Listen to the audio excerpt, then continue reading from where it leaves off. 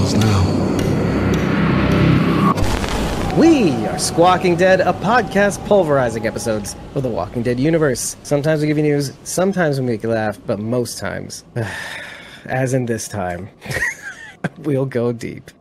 I'm already dreading this episode. Just to put like a bow on it, compare this to like some of the few times we've covered The Walking Dead World Beyond and how there's sometimes, and even like, um, well, even the first episode of Fear, like how there's just, you know, there's a lot of things to muse on and talk about, but like not a lot of things to go deep on. But this is this stark contrast to that. I was trying to pick things up like left and right because I feel like we're watching this through the eyes of a cop. We're looking for evidence. This John Dorie centric episode. So I even I even wrote in notes this this felt like watching an episode of Criminal Minds. were you as dreadful of covering this episode as I was? Um, yeah, I mean, I don't know. I'm I'm excited, but there's a lot to to unpack. Yeah, I did like the episode. Um, I mean, it made me feel really bad for John, but I I liked it. I mean, it was good entertainment. but at the end of it, I just kind of yeah. felt, Ugh. Yeah, and I and I feel you because by the end of it, you feel like there's a struggle going on uh, between John and the truth. This is something like that we go back and forth on when it comes to season four. The big a big theme in season four was Althea saying saying the truth out loud, if only once, makes even the the, the impossible possible. That sort of thing, and like this this idea of unburdening and truth is, is spoken about in this episode as well, and and even in a false context. So this really is kind of like a mirror darkly of season four in particular. But I like how we're returning to this theme of the truth. I, and what I like even more is how we pair this episode with just the last episode. One of the big things that we talked about when it came to Althea is the idea of her going after the truth, you know, record, documenting to the living to, as like a, a means of her raison d'etre to kind of show what's going on out here to for whoever's whoever's going to remain our story, right? And and I, again, and to make another leap, another hop, let's say, you know, when Elton talks about the endlings, I kind of like to pair this idea of the endlings, you know, as the last person of our species to survive, or the last of our species to, to survive before it ends, or the endling. And so I like how these three things kind of line up together in a weird way. The most interesting thing about pairing this episode with just the last one is the idea of Althea holding back finally. And instead of hmm. sacrificing her brother for the truth and to go after the story, she says it's not worth it. But when when it comes to John, by the end of this episode, John cannot help himself. But in a weird world where he gave up being a cop previously, and yet he's fighting to keep that part of him to know which way is up. It's just who he is, that sort of thing. And he cannot stop himself. So it's this weird thing where one person knows who she is, and yet she can still pull back. But John keeps going further and further. He cannot help himself from from finding the truth or or rooting the truth out so that he knows which way is up. So I like that pairing. I like that back and forth on there. So just to dovetail off that, perfect, Sharon. D. See now you cut you got the cut of my jib right now, huh? I, she says, I don't think it's a coinc- coincidence that they're san- sandwiching a Dwight and Sherry episode in between a John episode and a June episode, and this idea of Althea also, just to kind of there's this John episode, eh, which also yes has a has a Dwight and Sherry element to it, you know them reuniting, and then the next episode after yeah. this, it is sandwiched in between a love story. Now the reason why I need to get that out of the way is because it seems to me that for most of these people, for Morgan, for Strand, and for Dwight and Althea, they kind of turn into this Super Saiyan version of themselves, or Super Strand, or Super Strand 3, or whatever it's going to be. But then you have John, and I'm not 100% certain that's the case with him. I don't know what he becomes. And as this episode progresses, there's a lot of elements, and I just want to put this out there now so that we can explore those uh, those ideas specifically. There's this idea of rot. There's idea. There's this idea, a subtle idea of poison as well, which you may or may not have noticed. Paired with also the revisiting of Strand's color blue as well. The, the little band in his hat is, is a blue color, and and all and there and some of these people will be acting as avatars too. You know, for John, and so keep that in mind as we we navigate through this episode. So we start off with Morgan in Boomer's Boomin' Fireworks Shack. Buy one get five free. I just there's something just so fucking funny about that. It's like, Right? It's it's a fire sale. which is which is the place where basically he's he, like you, it makes you wonder how Morgan's been getting his goods from Daniel, and then you figure out that okay, in between trips of him going back and forth between Lawton and and all these other places, Paradise Ridge, he must be stopping off at this place and dropping off these things in his germicide. I was going to say germicidal lubricant in his germicide uh, box of where they put the combs in the little blue fluid. Yeah. so one of It's the things he, but I don't know if that, that's probably just a brand name. yeah, that's that's what it is, and so which is why they had to use germicide. Um, Germicide. or barbasol or whatever. Yeah, exactly. One of the few things that he, we find out he drops in in one of these boxes is Grace's jacket, the, the very jacket she wore. Grace's blue jacket. blue jacket. That's that's right. Foreshadowing. Oh my God, Grace is a strand. Everybody run. we don't. She's gonna betray him. Oh, sad Morgan. Anyway, so so yeah. Terrible. This is like one of the things I wanted to actually pick on the first episode because the first episode was interesting in that, like, I kept wondering how Emil was finding Morgan with no, like, how did he get a scent off of Morgan? This is one of the big things I Mhm. was trying to think of. Like, and Yeah. I, I don't have an answer for that, right? Do you? Because I either. didn't. No, no. Right. Yeah, And how did he get how did he get Morgan's scent? Right, right. Morgan Jones has been through here. I'm like, how do you know? How do you know? Right. How do you know? I don't know how you know. The only thing he, he he had a picture of him, but that's not going to help Rufus at all.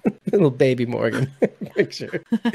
and then how did he get that? Right? Did she, did Ginny describe it? I guess that you could probably explain, but like, I yeah, the picture w- I the picture made more sense. Like obviously Emil went to wherever Ginny was and she drew up a sketch to go find him, but but the scent, I could not figure out how Rufus knew where he was going. yeah, it doesn't make sense. It really doesn't No. make sense. Unless, unless, okay, now I figured it out. Shit. Unless he went back to Humbug's Gulch. Because if he did, there's tons of Morgan's blood around. And that's that's a spot where Ginny definitely knew they could get a scent, an That actual blood Morgan. scent. Yeah, yeah, that's true. That's true. I hate Could solving started right from there. I hate solving my own problem, but I also like it because then people it answers the bone people would have to pick from that episode. But going back to Grace, clear evidence, Grace, jacket, okay, we're good, we're rocking, we're rolling with Rufus, Rufus the dog, and we're off to the races. And then let's just go straight to the end because uh, did I cover it? I think I covered it, right? Yeah. I mean, Um st- yeah, Dan- yeah. Daniel has a note, blah blah blah. Who cares? Daniel Eh. left the letter there. Yeah. moving along. Okay, we're rocking, we're rolling. end of the episode. the one thing I wanted to point out by the end of the episode is that just like just like Daniel, unlike Daniel, Morgan actually catches himself talking to a dog and expecting him to answer. Right. I thought that was hilarious. He Yeah. goes, uh, uh, but then after he gets hit by the car from the, the death cult people, maybe, maybe I'm not. You I know, just call them the spray painters. the spray paint. That's right. But I say maybe because I'm not sure. I'm not sure if these people are the same. Maybe though. it's definitely the spray paint guy. But de- but we don't know about the mannequin mask people. Right. No, But we're not sure about them, but these are definitely the spray painters. Right. And we're going to find out more. The mannequin masks are going to be appearing in the next episode. And one of those things, and Charity, I'm going to beat you to the punch because I think you know already that one of the mannequin mask guys is actually Raleigh. Oh, Right. I did not see that. Charity's that- like, yep. Was Possibly. that leaked, leaked out? Oh, Well- possibly Raleigh. We we got a close up of the face of one of them, probably through the, the, the previews and the sneaks, but Okay. the, the speculation is hot that this is Raleigh. Walter's twin brother. Yeah, Walter, Walter's twin, right? Exact, exactly. That's the link. Walter and Raleigh Yeah. are brothers. Okay, we the, it's over. It's over. We the connection is made. Raleigh sold out his brother, got Emil to kill him to get the key. Okay, that's it. Episode over, everybody. That's it. We're done.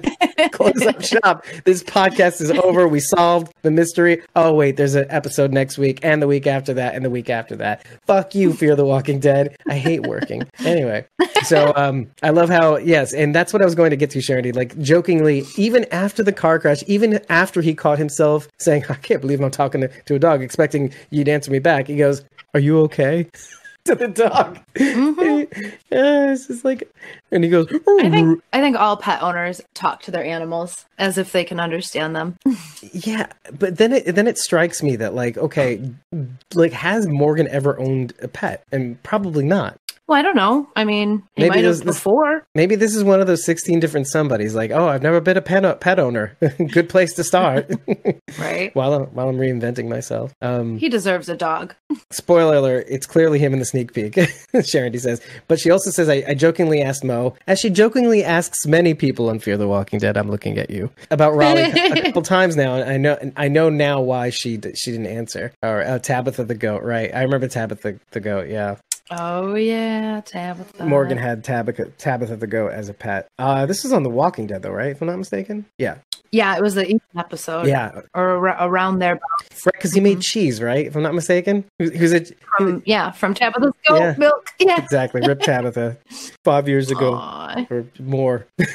I don't know at this point. Probably more. Because even that episode was a flashback at the time. Right, right. But go, moving to moving to the end of the beginning, guys. What's interesting is that we're we're willing to discard them even in this episode, which is interesting because the spray paint dude was the only dude we knew. Was the other guy in the first episode part of that scene? No, right? The other guy that meets up Yeah. with spray paint dude was is he the other guy in that scene? He's the guy who got gutted. Yes. Okay, so we got rid of both of those guys from the beginning episode. Is that where we're all saying? Yes. I wasn't sure about the Yes. Second guy, meaning the the guy that got his guts all spilled out. Yeah, the the Spencer wannabe. He was the one who said we need to uh, wait someplace else. Okay, so that is the same, which is which is why when they opened up with the uh, sort of previously on Fear the Walking Dead, they showed his face. Okay, so that's interesting. Yeah. That's very interesting. I thought it was interesting that they were waiting for Emil and not Walter. We had posited that they were waiting for Walter, Yeah, well, it's a double. but they were waiting for Emil. It's a double whammy because okay, we thought we were waiting for Walter, but it turns out they hired Emil to get at Walter. But at the same time, Yeah. what's the double whammy? They have no idea who Virginia is. Who's who's Right? Virginia? yeah. So I I wanted to study his face so closely during that scene to see if he was genuine or if it was like, well, who do you think, Ginny? You know what I mean? Like, who are you to Ginny? I don't know, but he did seem genuine, didn't he? yeah, I mean, look, when you're facing a guy with a axe, you know, and then Yeah, just gutted your friend.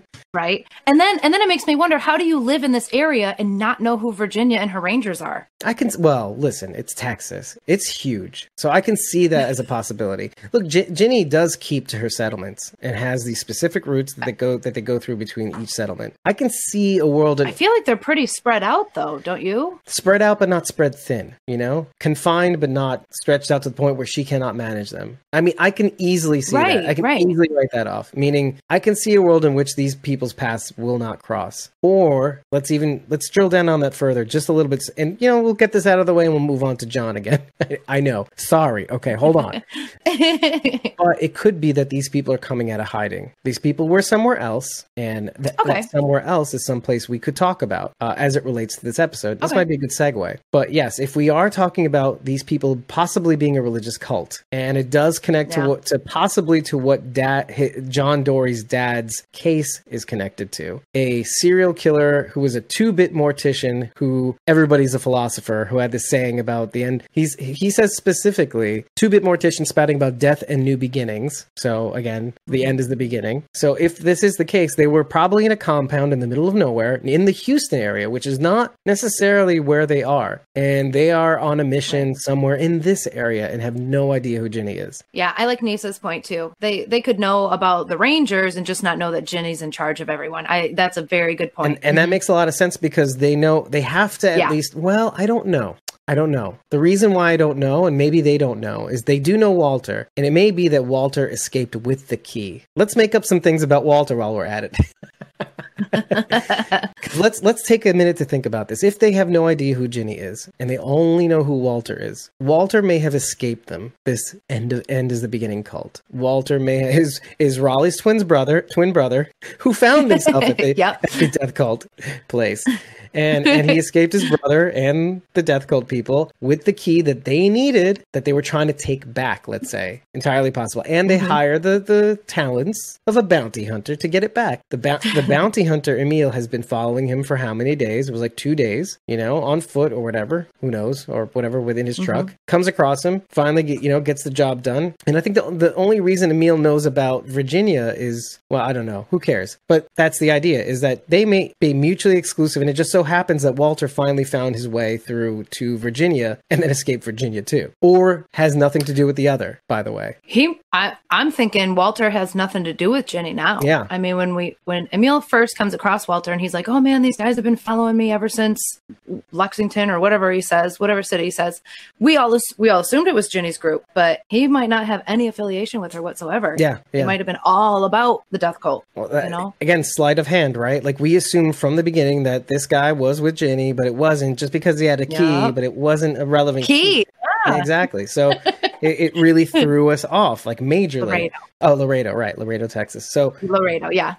see, we know the geography of who is whom now, at least, or at least we know what not to know so. in, in relation to this. So We're starting to put the pieces together. yeah, we know what we can't know. Like we, we're putting the corner pieces to the puzzle. But Yeah. we- so I'm we starting know, to see the outer edge of this. yeah, exactly, and what doesn't connect, and so which means that we know what to rule out. It's kind of like the uh, the Sherlock Holmesian thing. Like uh, what what it, what is left must be the truth, right? Yeah, no matter yeah, no matter how unreasonable whatever left is must be true. Mhm. Right. Until we read that Something out. like something like that. which is what we do. We're the weed out. We're the Right. weed out gang. By way of me doing this, by way of me just getting at the heart of this thing, we can maybe talk about some of the ancillary things that that kind of support what I'm saying. My whole thought process starts with John securing the crime scene, and that's when things start to go crazy.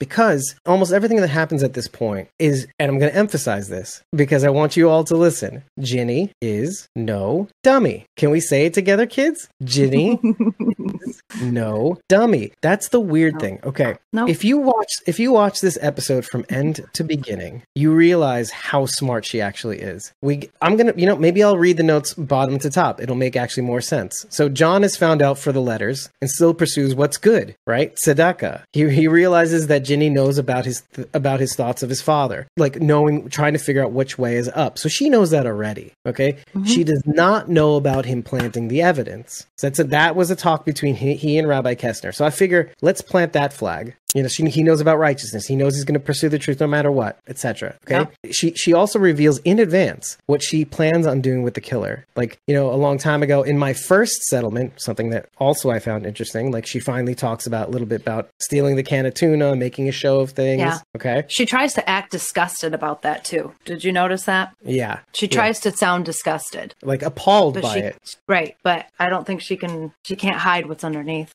Yeah, I don't think so either. yeah, Ginny, Lisa and Sherry Yeah. are like, Ginny's no dummy. Okay, says begrudgingly,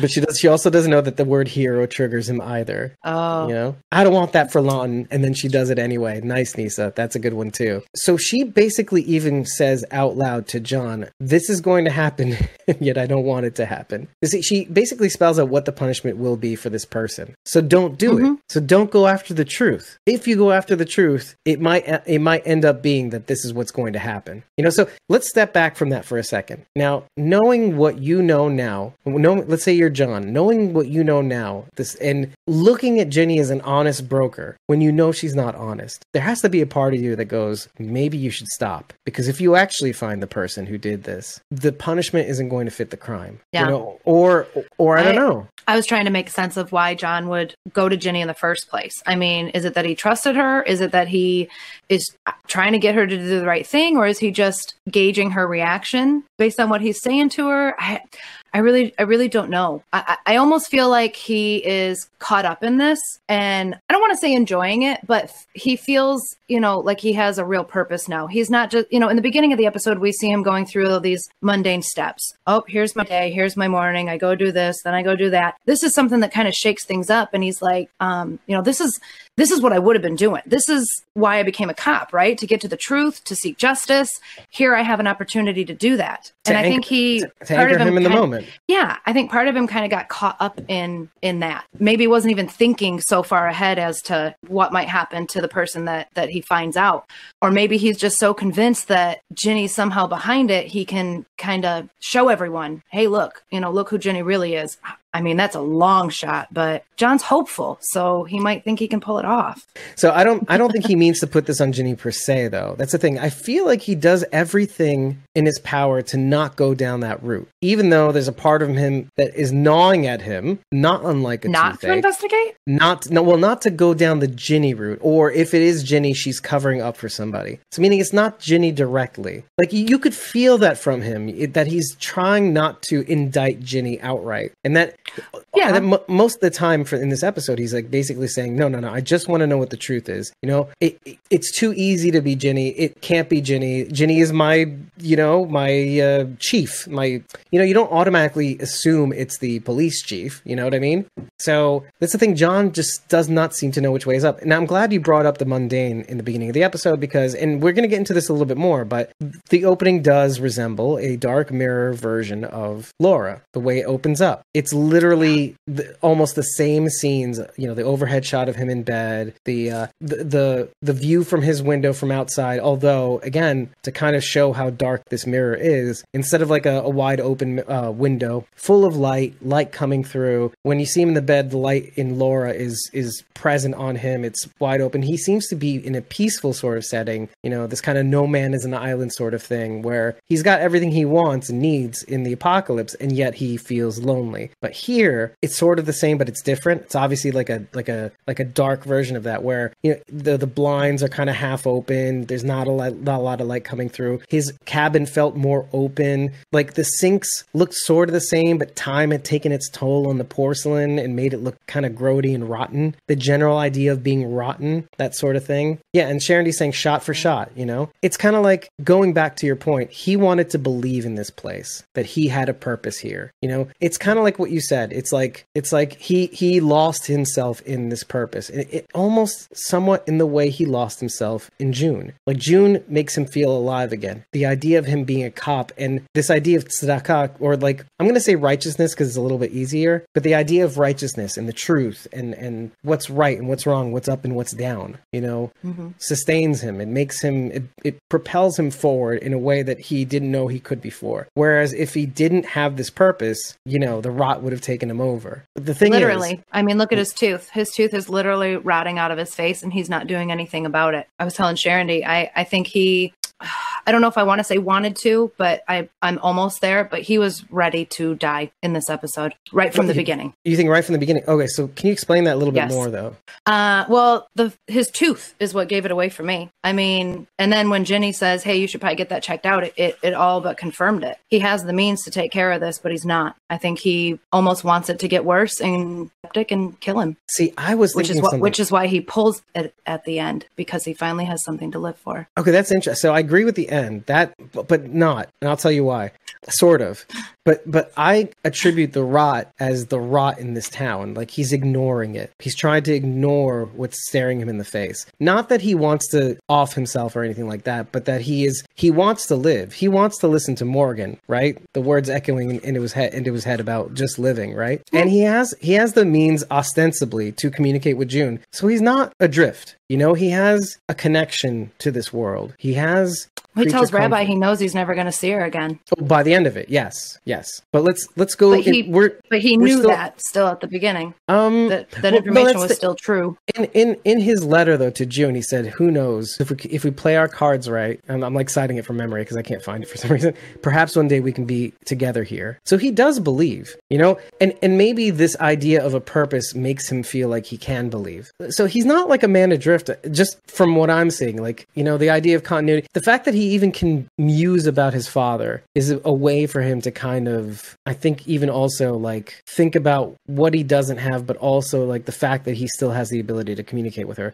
And one thing to make clear is that he does receive letters back, but we don't know what the contents are, which is interesting, right? He does receive a letter from June in the second day. So his letter seems to make it to June, and he seems to be able to get a letter back almost the next day. Um, You know, if we're looking at continuity, right? Possibly. I mean, that letter looked like it had been been through through some shit. The one that he received from June, it looked That's pretty true. worn. I kind of thought, hmm, how long did it take to get there? Yeah, and we do have the idea of uh, 246 days uh, with no incident. So like almost a year with no incident of somebody not dying. That There was before John got there. Isn't that what he said? Two hundred whatever days before he got there. Yeah, eight months. Oh, Well, yeah, up until the day, right? So when at the time of him Okay. writing this letter. So eh, okay, so Sharon D saying before he got there, eight months. And um, I also want to mention something. She, she Sharon D says also, I don't think he wanted to kill himself necessarily. He had been communicating with I June all this time period. kill Well- don't- that's not. I'm not saying he wanted to kill himself. I'm saying he's re- he was ready to die. There's a difference.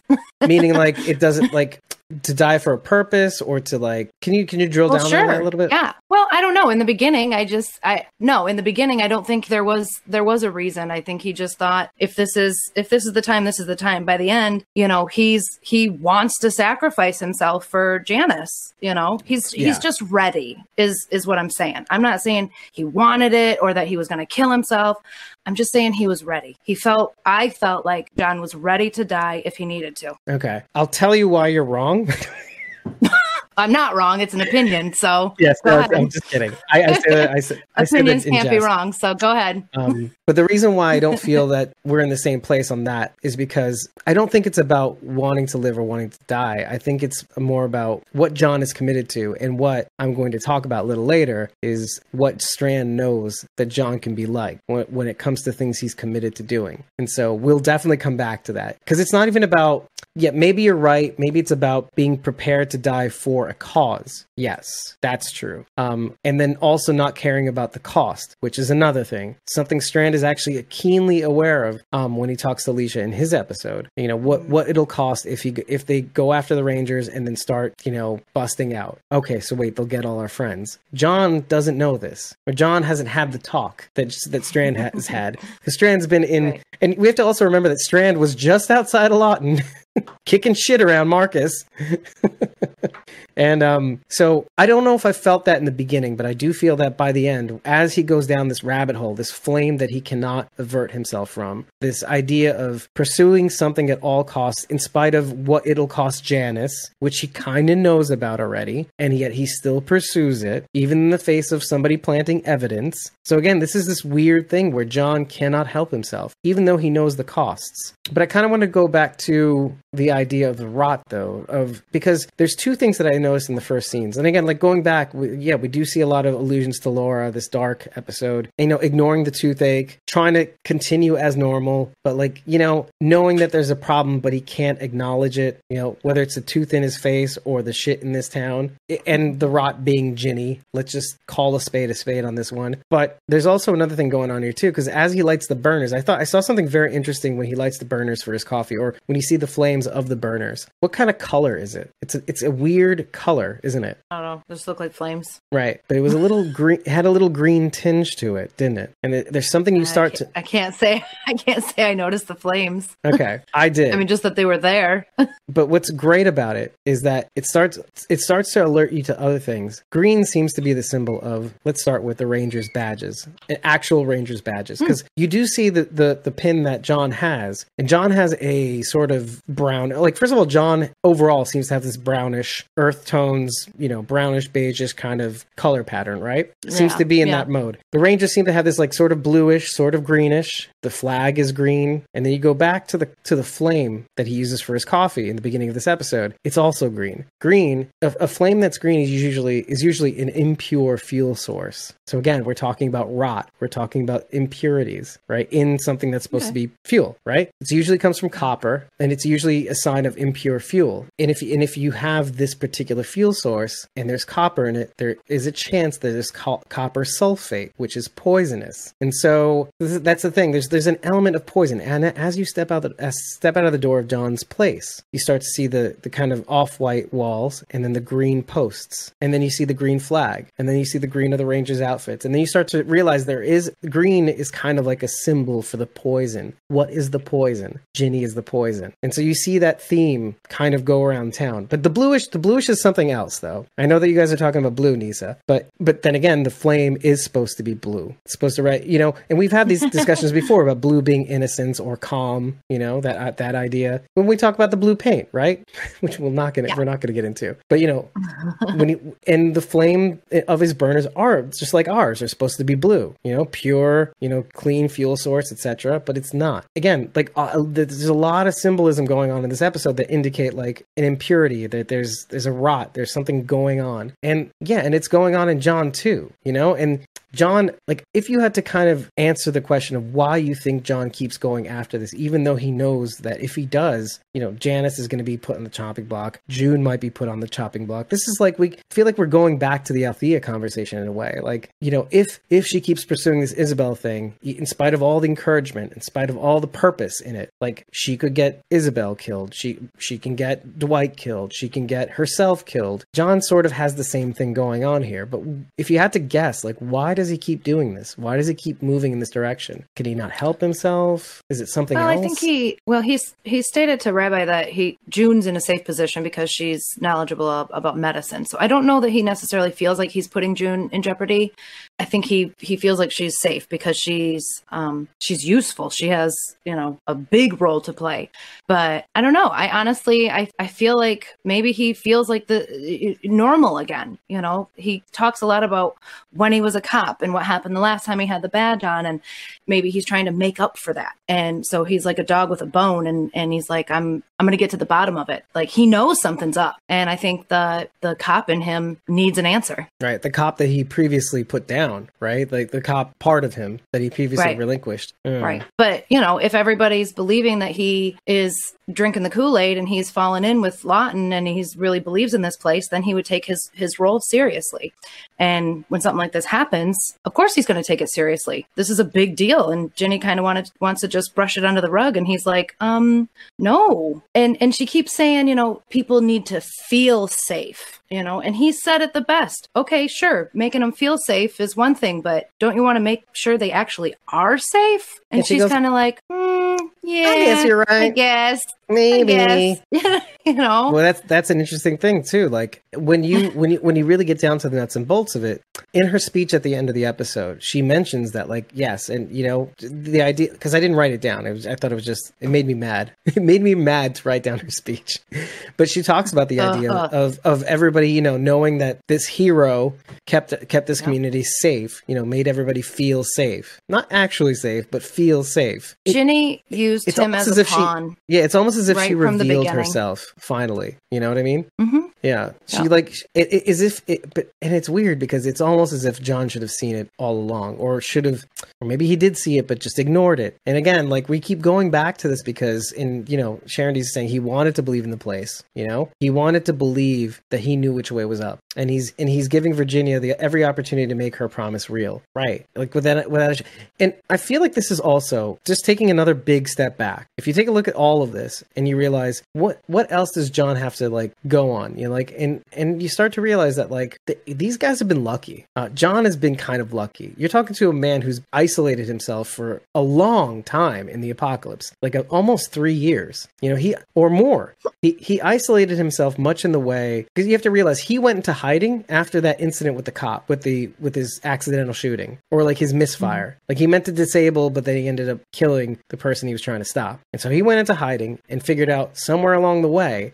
so like three years or more, that at some point, oh, the world went to shit, you know. And then he realized when he went into town again to get provisions, oh, everybody's dead, you know. So when you put that kind of John into the present, and yes, you know there was an incident with with Martha, which he didn't really have too much of a hand in, except for maybe when they were in the hospital. I mean, this guy has been hasn't been in front of bad people, or like there's also the idea of authority too. Like so, it- may not even he can't even distinguish when he sees somebody with this kind of authority, or that some this sort of authority can exist without some sort of rules, or what some sort of laws, or some sort of procedure. You know, and so he automatically assumes that procedure. Like he he says something about this in his letter to June that there's something about having about his dad and having the a purpose and procedure and like a rule of law, knowing which way is up. and he associates that automatically with Ginny. Like this place can't exist without some sort of order and law, right? So he can't Mhm. like disassociate Ginny with law, right? And the town is called Lawton, so that can't help. Okay,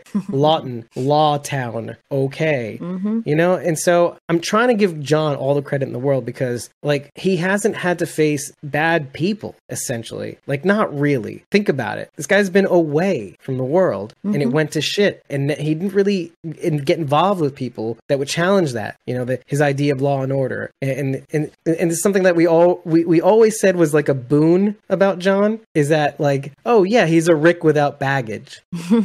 Oh shit shit.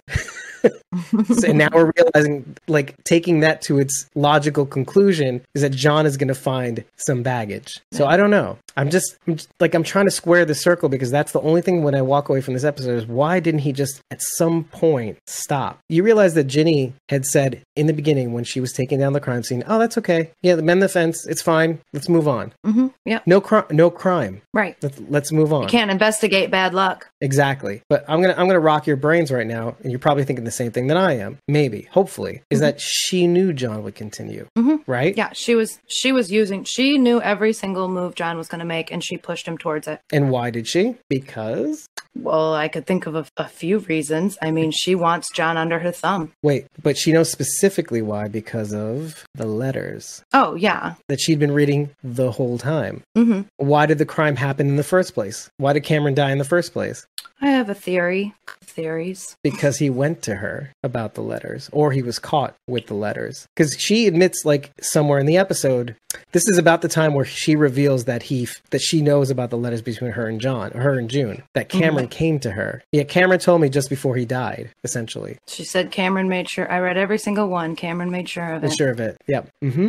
Now, now that's that's I, ha- I have a couple of theories, and Mm-hmm. it, it's totally based on whether or not you even believe Ginny, whether Right, or not right, Cameron right. actually did give her those letters, because we also knew know that Cameron and Janis were planning on leaving. So if he was going to hightail it out of there, why would he be doing anything to help Ginny? But maybe he was. I don't. I don't know.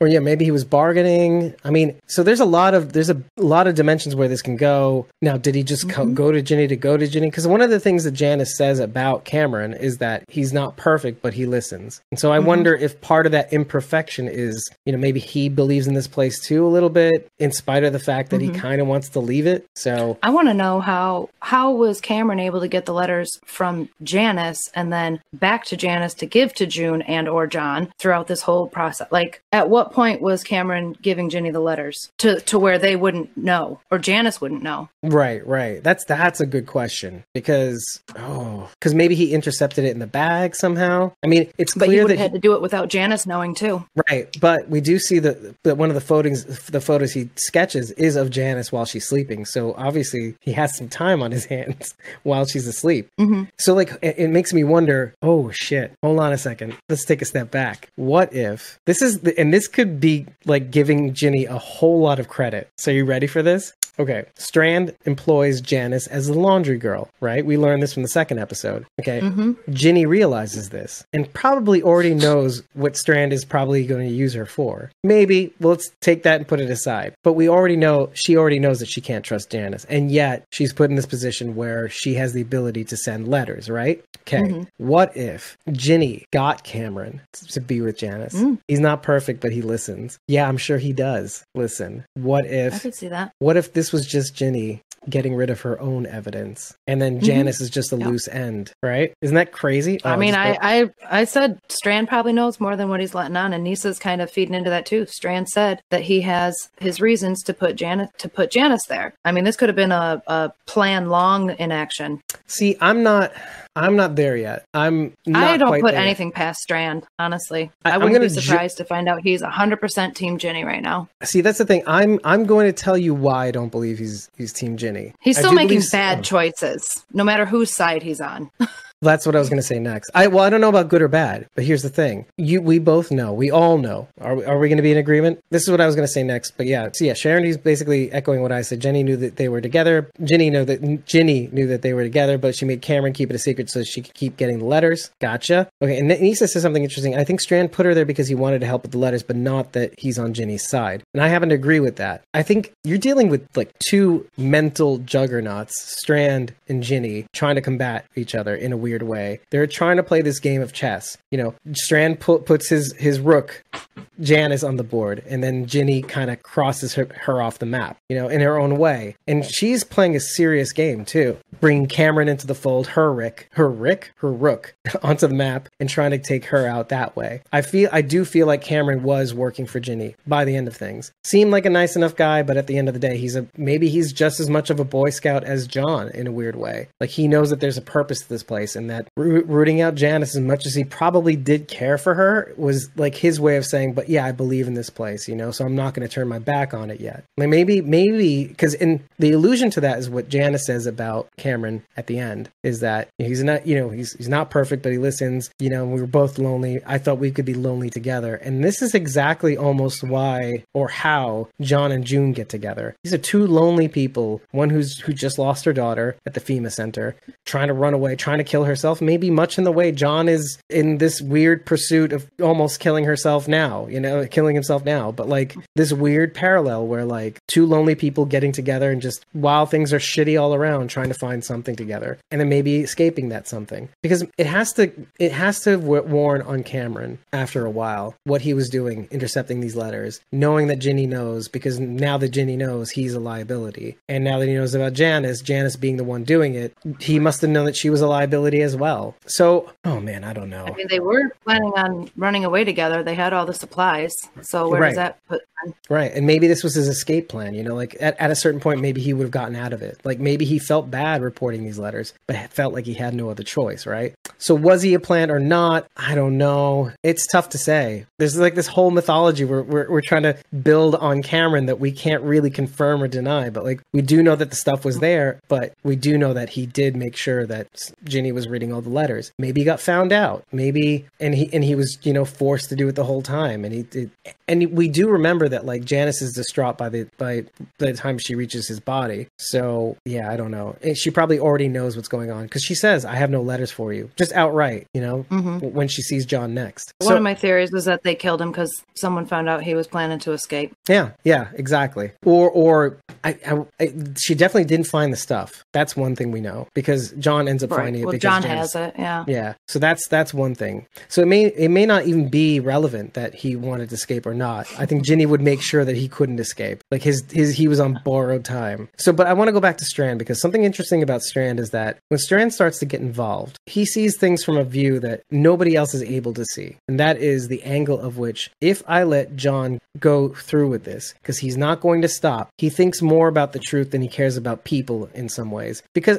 John has to realize that he got Janis killed at some point in the middle of all this. You know, because, John. Yeah, I'm not blaming John. I'm not blaming John for no, this one. Sorry. I, I'm not, not going to blame any way, shape, or form. I'm not going to blame John either, but you have to realize, nope. I, you have to realize one thing is that if John would have just left it alone, Ginny would have just written it off. But because he went after it, Ginny had the wherewithal or whatever. Still didn't believe it was her at the time, but whatever. Planting the evidence on, I think planting the evidence on Janis made it made her a target, and so he has to feel in some way by the end, maybe that in some way he had a hand in her dying. Do you know what I mean? Especially if, you have to realize the order of which this thing unfolded. Ginny tells him tells I him think about, Ginny was going to kill Janis no matter what, whether no, John no. got involved or not. Janis I know, dead. You and me know that, but does John know that, or does John realize that? Maybe he does. Let's say, but like I'm saying, in the He's, middle of I, in the middle of this process, so. in the middle of this process, the order of which which this thing unfolds is he's in her office. She tells him the story about the punishment, and then they have the feel you know feel safe versus actually safe, and mm-hmm. then as he as they continue and they have the funeral for Cameron, the, the evidence is planted, and it still doesn't dawn on him that, you know, or mm, I don't. That's the thing. I don't know if it dawns on him that because he kept going after it, this case got Janis killed in a way. And again, you could argue by He that by- really, I, that by the I think end he really it, thought he could find the truth. Right. He really wanted to find the truth before Janis died. Yeah, but that's the thing. That, what this episode is supposed to show you, though, is that by the end of it, John didn't know which way was up. He was the only one who didn't know which way was up. Rabbi Kessner knew which way was up. He says, "I'm supposed to be this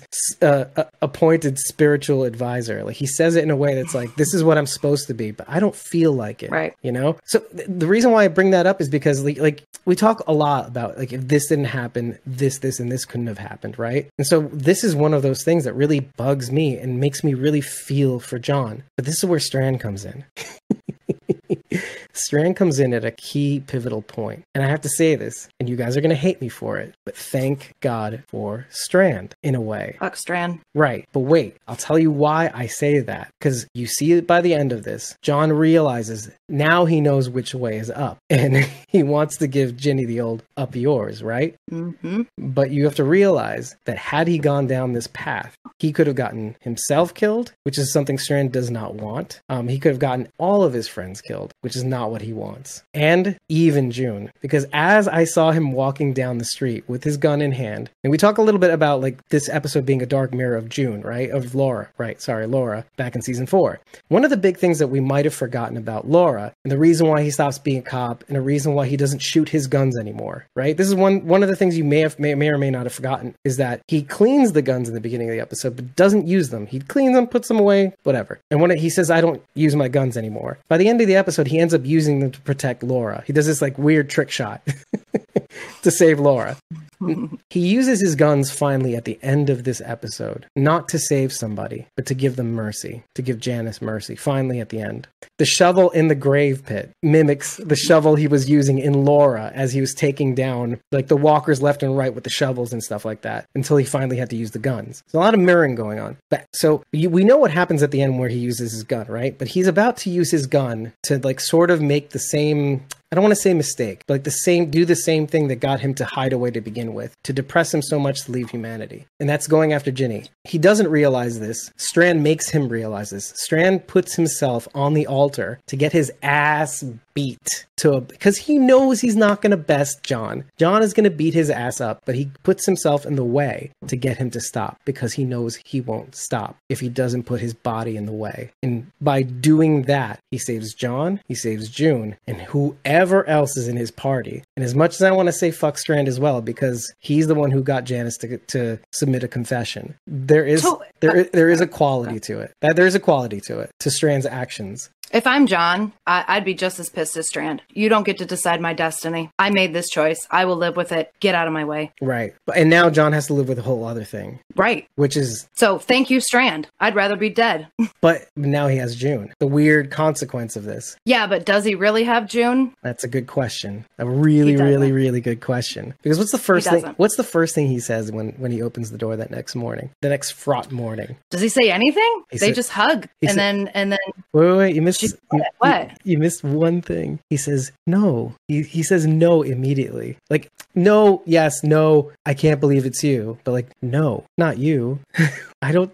One of the things I also noticed in the beginning of the episode that you may not notice until like like a third or fourth watch is that he doesn't have his ring on his finger like Ju- yeah, like I did notice that. like June does when you see Mhm. her. From the beginning, he has his ring around his neck on a Around chain because it doesn't fit, right? I mean, hmm metaphorically, but also actually probably, but also metaphorically.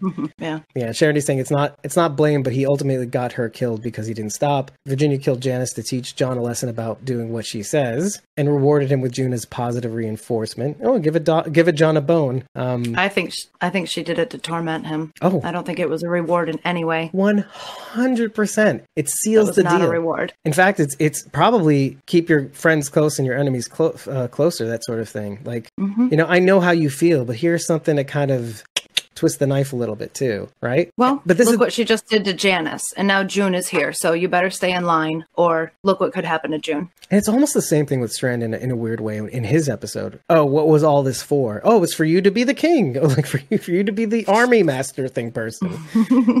but like torturing Strand in this weird way, like Oh, uh, yeah. torturing Althea with documenting the dead instead of the living. This is why I said like like I I don't want people to think that Ginny is a dummy. This this you every episode shows me. Listen, at first it was a, suspi- a suspicion. I won't lie. I'm I'm bullshitting by the time I'm thinking this through. Because when we see her in season five, it's like who the fuck is this person? season six rolls around and I start to suspect that like because you know teasers and all that stuff, you start to suspect she can't be stupid. And then, you know, and you're bullshitting. You're like, I have a theory. And then as every episode unfolds, I'm realizing how just like super intelligent she is. How she uses leverages John because she knows because of these letters, just because of these letters on psychology alone, knows that she, he will not stop until he gets at the truth or get the bad guy, right? Whoever that is. Lisa says, uh, Strand is a savior. Thank goodness for him. Sharon D says loved it. Uh, Sharon D says tackles him even even after John knocks his ass down. So yeah, Strand asks for more. You know, more punishment, please. So yeah, I'm sorry, Sharon D. Yes, I'm not making you like. You shouldn't like Strand. So that that's one thing I want to make clear. In a way, you can feel whatever you want to feel about Strand, but there are some facts that you have to be acknowledged. Is that Strand put his body to stop John, stop him from getting himself killed. Like, stop John from I'll- getting I'll- himself killed. we we want we want to say you know yay save your strand but honestly do you honestly feel like he did this for john because i don't whatever his master plan is is to save his own ass and whatever that plan is he needs john for it that's where strand sits So that may he wants john alive because strand needs him That may be And true. That may be actually true. Because here's the thing that I'm wrestling with. The thing is, the one thing that got me to think differently is that Strand, at, when Strand finally comes into the picture, he goes, "Okay, you find the truth, and then what? Then we expose it, and we make people, you know, when we and we find out the truth, and that the truth will prevail. You know, it's tzedakah, right? The idea of righteousness, right? Strand goes like this because you know what the answer is. What what does Ginny value over the truth? Is for people to feel safe, and Strand sees that and knows that from her conversation. He's Strand is a person with his eyes open.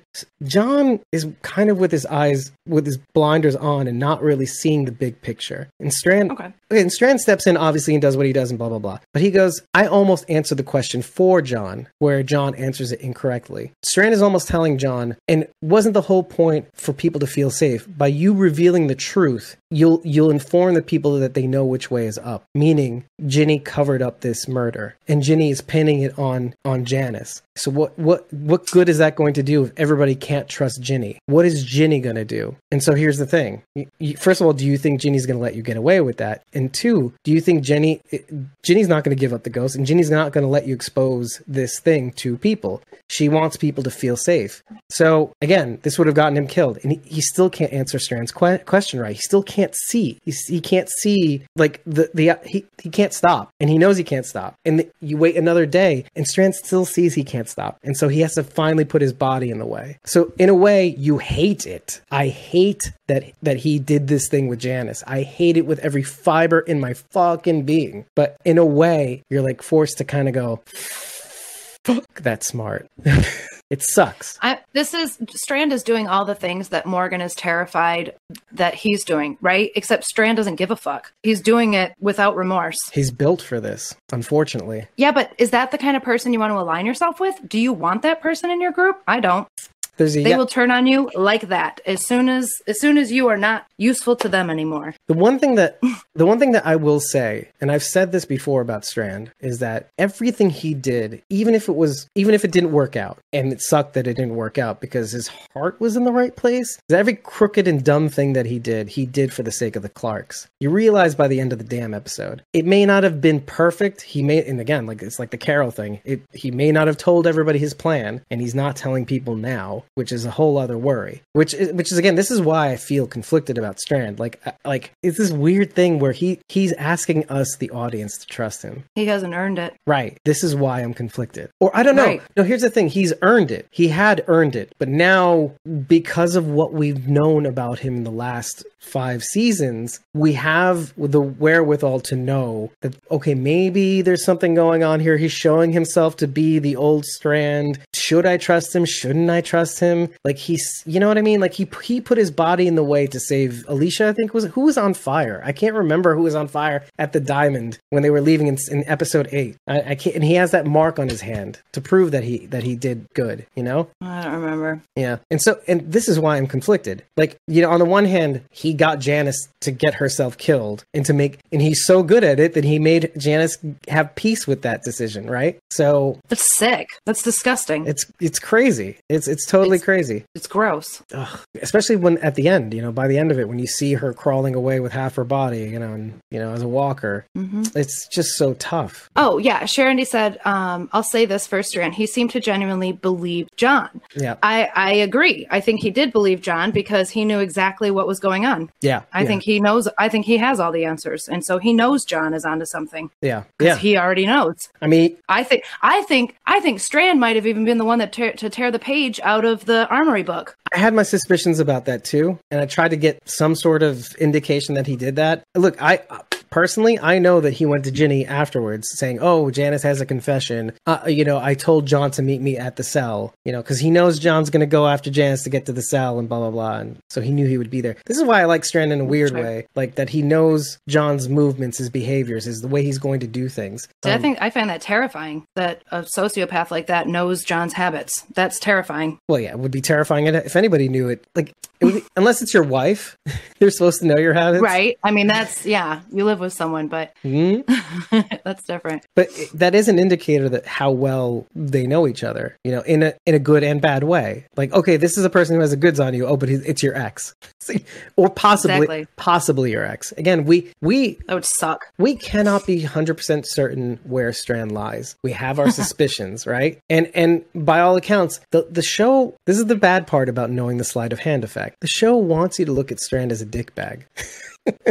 Yeah. This is why I hesitate on either end of the spectrum because I know one thing for sure. I know that Strand put his body on the line, but I also know for sure that he got Janis to give give her confession, right? hmm So these are two things that, and but and like for good or for bad, look, that was a crazy thing to do. But this was also like the him putting his body on the line to st- stop John from getting himself killed. That I also know. And so these are two things I wrestle with: the yin and the yang. Oh wait, what is this? This Walking Dead World Beyond? Wait, what? Um, all in one package named Strand. Uh, okay, So Anissa saying Strand is playing it smart, and Sharon is saying, and that's so unlike, unlike John, right? To be hot headed and go into things without thinking. That that makes sense. Which goes back to the toothache, lack of sleep, and the rot. Have you ever had a toothache that will make you lose hope in life?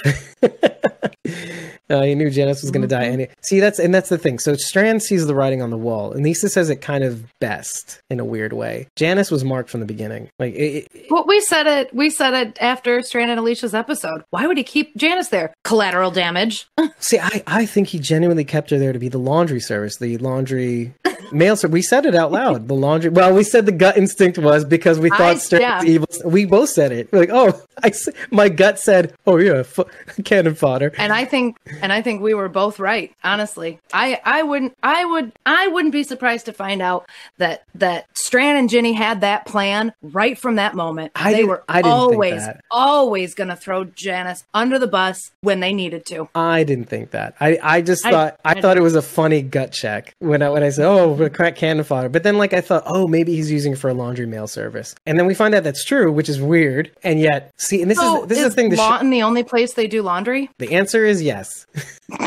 That's the one and only place you can do laundry. Although I wonder, like pa- Paradise Ridge has to have laundry or something like that. And again, like I feel like Janis was marked for death, I, I- probably from the beginning. Like any move she made, and maybe you're right. Maybe Strand knows that anything she gets Janis to do on the side could get her killed automatically. I don't know. Again, I I can't say this or that. I really don't know, and I feel like we're gonna find out at some point. But oh, We better. yeah, but Ni- Nisa says it clearly. It's like, you know, Strand Oh. knew Janis was going to die anyway, so he made sure nobody else died too. You know, and that's the thing. That's that's the one thing you can credit for with Strand is that like, okay, if we're going to do this, we're going to do this and nobody else dies. You know, everybody everybody else gets to live, and so that's one. Everyone, everyone who Strand decides gets to live. Right. Let's let's be real here. Let's Right. let's get yeah. it is That's it- really how it goes. it is heartbreaking because because Janis was never going to get off scot free ever. I feel like Janis, the moment they found Janis again in Humbug's Gulch, I feel like they knew. I feel like everybody knew that she was marked for death because of the way she escaped the first time, and she somehow, you know, this is a weird thing. Um, Holly Curran was was only supposed to be in two episodes, and she made it to this third to have this like weird purpose, Dang. you know, which is really really weird. And so they gave her this like this purposeful role just for this this this episode. So which created this whole narrative created a really good John episode, you know, with her presence in this episode, and she got to go out in such a blaze, a blazy of glory. Okay, so, so Charity's like, first of all, she's Charity first Oh at first said, "Thank you, thank you for making me like." First of all, she says to me, "I hate you for making me hate Strand, uh, making me like Strand," uh, and now she's saying to Rachel, "Thank you for making me hate Strand again." Make America hate Strand again. right? Yeah, like Jan- Janis had always said, Ginny had always had it out for her, so she was going to die for it anyway. Strand made sure nobody else had to die too. So Nisa says, Does she mean Sherry? Yes. yeah. Uh, Next week, Strand throws Sherry under the swatty to save Dwight. Dude, honey, honey, no. See, I would I wouldn't be surprised at all to see Strand do that at all because he decided Dwight deserves to live. I, I have a, I'm I, sorry. I have a feeling Dwight- Strand is going to surprise us some more. I I mean I said that at the beginning. He's gonna straddle some he's, lines. he's gonna yeah. I said he's. It would be more shocking to have him do something selfless, right? So Right, that's right. almost what I'm expecting because it's so shocking. Right, right. It, it, and I was a little shocked because, like, when you watch it at first, you realize, oh, I'm just trying to stop my friend from doing something stupid. No, no, no. No. It's not just that. He does it twice. and that's why it's so shocking because it, you could write it off at first. Oh, it's his friend. He doesn't want him to die. No, no, no. He's this is he's trying to stop not only him from dying because June's on her way. June might die too. Like, oh, John just died. June, sorry. like, no, you, your your man died, and now you're going to die. Oh, wow. Sharon D says actually, if you remember, Strand was the one that was running to save Janis but couldn't make it in time. Yeah, Strand and Alicia, right? And then Wes had Wes and ended up saving her in the end. Oh, in the oh yeah yeah. yeah okay. Fuck, Sharon D. That is a big. Oh my god. This is gonna. Ah. That actually throws an interesting wrench in that direction because we don't know what. Okay, it kind of like the way Morgan's going right now. Morgan himself in this episode, uh, we didn't mention this, but like he looks at himself in the in the rear view mirror and he goes, "Will Grace recognize me?" And I feel like there has. Will we get a moment when we look at Strand in much in the way Morgan sees himself, where Strand ha- has this moment too? Like, will I come out of this being able to look Alicia in the eye? And I wonder, you know, or maybe, maybe he's. Oh my god, I can't believe I'm going to say this. Maybe John isn't the only one who can't pull himself out from the fire, who can't pull himself away from the fire. Maybe, like John, like you said about John, John was ready to die for this cause. Let's say Strand is doubly committed to try to save his friends. And yes, that's going to create problems, but he just doesn't see that he can do what he needs to do with Alicia around, that he needs to be this person. Sorry, I'm going to make you like Strand again. Sharon in a weird way.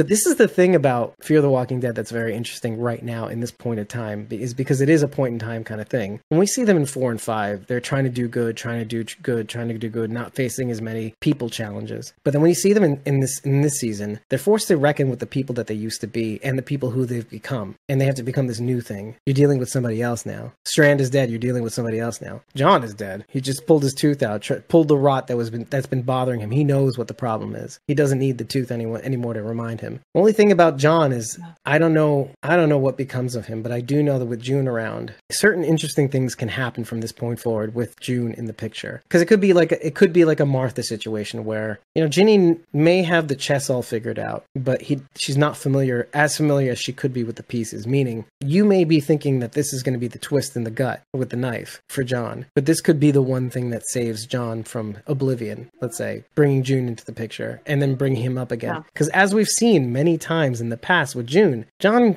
sometimes does feel down in the dumps, and June has a way of saying, "No, no, it's fine. You're good." And then they do this for each other throughout the series. So I, mm-hmm. I'm not ready to count John out, although it does make me for all the times we felt ominous about June. I wonder, I wonder if we shouldn't feel more ominous about John in some ways, not to kind of be down in the dumps, Sharon D. So okay, Oh, yeah. so Nisa says Strand wouldn't care if Alicia could look him in the eye as long as Alicia is alive, and maybe maybe he realizes that by the end of the that episode. And uh, Sharon D says June knows something is up too, and I don't think she's going to let it let it go. And I hope she doesn't either. This is one thing that I was very very concerned about by the end. But that no when he sees her, that that no hit me in the gut. Like if you missed it, watch it again. He says no, and I and I was like, oh not what you know not now this is the cost this is the cost this is what you know the cost of me failing is this reward and it's just like i don't deserve this you know Mm-hmm. being a ranger affords you certain privileges fuck you ginny i don't know what else to As say soon, as soon as she said that, I knew it was June coming back too.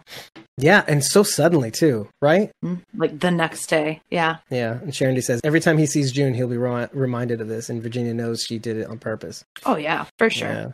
yeah. But I did want to connect something that um, he was talking about when he was telling his story about his dad, like the, the the real truth to Rabbi Kessner. He said something about how you know, obviously, he was talking about the two bit mortician who thought he was do- making profound statements like "the end is the beginning," ha ha ha, J.K. but um, something about you know, like like this death cult. And the one thing that got him to put the put the death cult leader away was planting the evidence of the purse. This is something that wasn't in the letters um, that he mentioned, like almost as a confession to, to Rabbi Kessner, a spiritual leader. And the one thing I started realizing was that John's dad and Ginny are a lot alike. John's dad had to make an example to to get people to see which way was up, and Ginny did the same thing as as his dad. But what I wonder is whoever is in on what Ginny was doing can't. I and I wonder if this is going to be the case. I don't have high hopes for it. But one of the things that John said about his dad was when he did this, it cost him a lot. People were happy to see the cult leader away, but his his colleagues could not see him the same way again. He couldn't be the same man that he could be to his wife again, John's mother, and he mm-hmm. went away. I wonder if this doesn't somehow create a ripple effect for Ginny and her fellow rangers as well, because maybe the fact that they know that she planted the evidence. Because I feel like, I don't know if you're looking at the graveyard scene really tightly. I feel like when John is talking to Dakota, and I see this frame, and I might bring this up in post, is that I feel like she's showing them the earring that she's about to plant on the scene. And just before it changes frames to show them Dakota and John up close with the Werthers and everything, I feel like she shows them for that split instance the, the earring. This is what Shows who? shows the other rangers in the background. Oh, oh! I, during the funeral, I noted Ginny and her right hand man were the only ones not take not taking their hats off. Oh, that's the a good- side eye That's a good side eye. Dakota was giving them. That is a good one. Yeah, and like we'll move on to Dakota in a second, but that is a good observation. I didn't notice that. I did not notice that at all. So Hill, right? The, the her I, that's what Sharon D and Nisa, yeah, th- said it was Hill, and I and I was glad to finally put a, a face to the name because we've heard the name Hill, but I couldn't, I didn't know who which one he was. oh, come they all look the same. Marcus, who looks distinctly like a douchebag. Yeah. because the other Marcus got killed in that last episode. Ugh. That's with the garage door.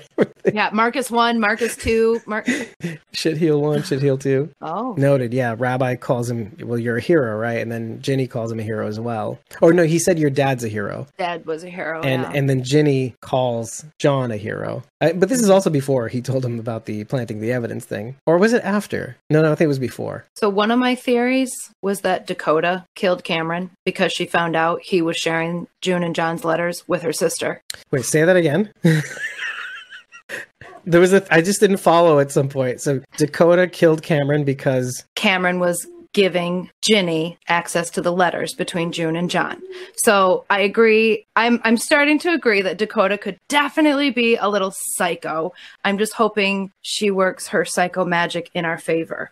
right. I w- I was almost. there was something about the way Ginny shuffled Dakota along at the funeral, though. Like, oh, she's been all distraught about Cameron since. Which she did she look distraught to you? No, Nope, not at all. he and I feel like this is evidence that was dropped in John's lap that John just didn't register. Oh, he she he went with me. Cameron went with me. Dakota on. I was with him on Ranger duty. Ranger. Well, like she said, any t- like anytime Dakota would leave the compound, he Cameron was on her ranger du- her ranger detail. He was one of the rangers who escorted Dakota wherever she was going to go. right. So they had an attachment to her. Blah blah blah. Whatever. Yeah, So I wonder if is there maybe a relationship relationship there too. Like, Well, and uh, I was thinking that's how Dakota could have found out Cameron was playing spy for Ginny too, and Dakota could have taken him out so that Ginny couldn't, you know, get to those letters anymore. Of course, now that none of that none of that really matters now, but yeah, at the time, Dakota might have been trying to help our group by taking out Cameron, and maybe and that was her earring.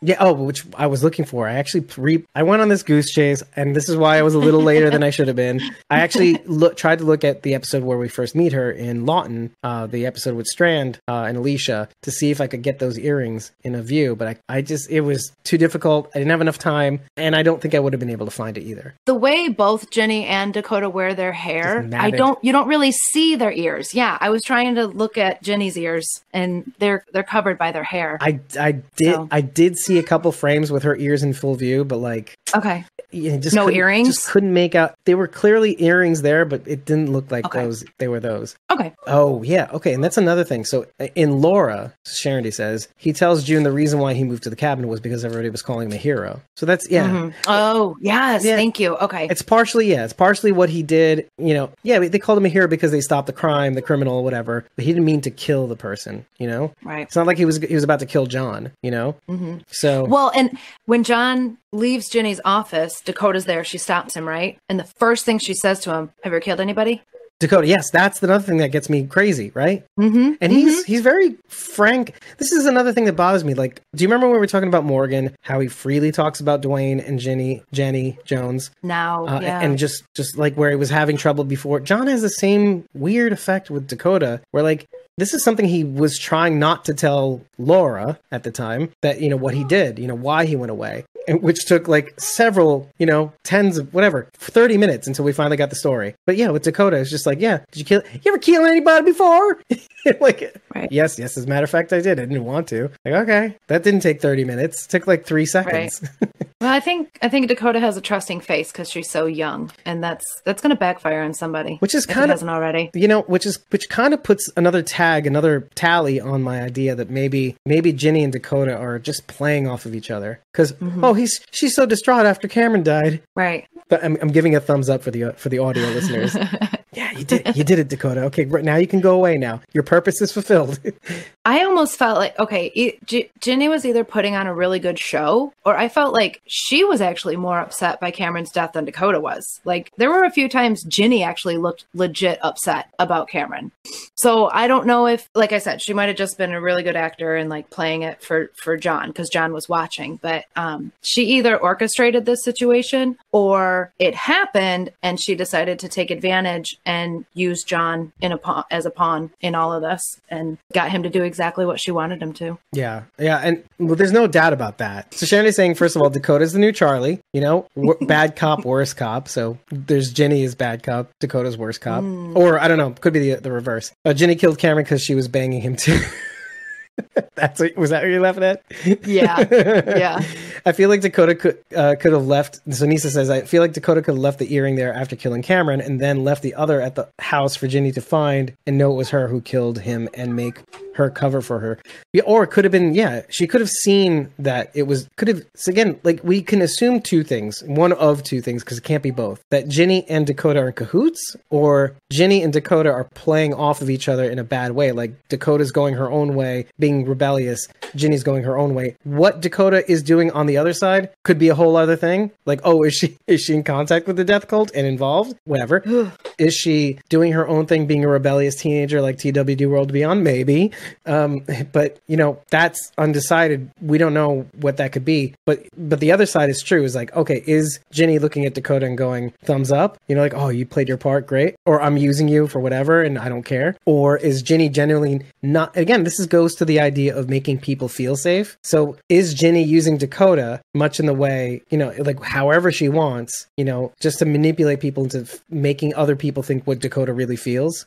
And so she's planting the evidence to kind of misdirect people into thinking it's Janice or somebody else, somebody with a bone in handle knife, 38 was signed out and the page was torn. The one thing that we have to automatically think about when we think about the situation is maybe posthumously, again, that that evidence could have been planted by the people who wanted to cover this crime up, knowing that John would find the bone in handle piece in Cameron's hand and send John onto onto a wild goose chase. But knowing at the end of all things that they would have never found the answers. The, I definitely thought it was weird that John kept going through all these things and nobody was catching him, right? Like he spent hours, let's be honest, hours digging that body up and not one person saw or was like, "Hey, what you doing?" right. And then again, outside the gates, um, with the music blaring. Nope. He he fired his gun seven, eight times. Nobody came to find out what was going on. Whatever Ginny wants, Ginny gets. You know. Well, I, I I got the feeling that Ginny was watching all of this. And that's why nobody came to find out what was going on because she was already there observing, or or somebody, you know, somebody being Ginny's eyes. I just have this really bad image of Ginny going, "Yeah, yeah, John, you find that corpse of Janice, like, like masturbating Ew. to this." I mean, wouldn't you if you were Ginny? Like, oh, my plan worked perfectly. I can't wait to get home. You know that sort of thing. Like, like she can't get off What? if it's not like a perfectly executed plan. Okay. She gets off right. one day a year. I don't. Oh God, oh yeah. poor girl. Poor girl. Gosh. That's the only way she can get off, though. Ah, terrible. Anyway, so this is the sympathetic part of Ginny, right? No, I'm kidding. Oh my God.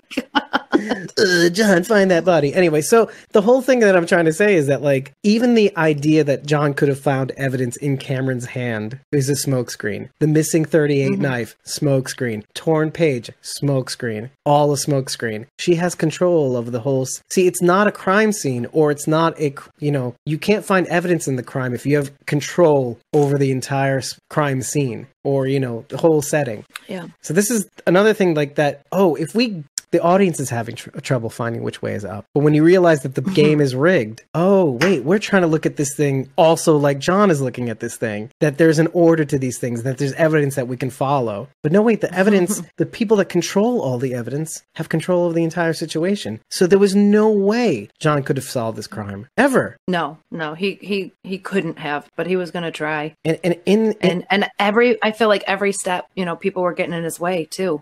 uh, or yes, Well, Strand. Yes, but also, the, but he was the only person to get in his way. Like you said before, nobody stopped him from digging the grave. Nobody stopped him from going after Janice. J- the only thing that I will give you about Strand is that he Strand tells him to think about it, and in that time, they probably he this was his moment to go to Janice. Janice, hey, John is going to do something very, very stupid to get you out of here, and it's going to get both of you killed down the road because they're going to know about it and find it, find you guys out, know where you're going to go because Cameron spilled the beans. This is J- Strand's way of saying Cameron spilled the beans about both of you, so you know what's up. You can't leave. They're going to find you. They're going to know where to go. And not only are you going to get yourself killed, you're going to get John killed in the process because he's going to want to ferry you away. He's not going to go with you. He's going to stay here and do what's right for this town like an idiot. And so Strand is the only one to get in his way. Goes for Cam's body, goes to, to, to Janice's execution. Nobody's stopping him. Nobody's stopping him from killing these walkers. Nobody's stopping him from doing anything. They have control over the entire situation. They control John from the start because of the letters.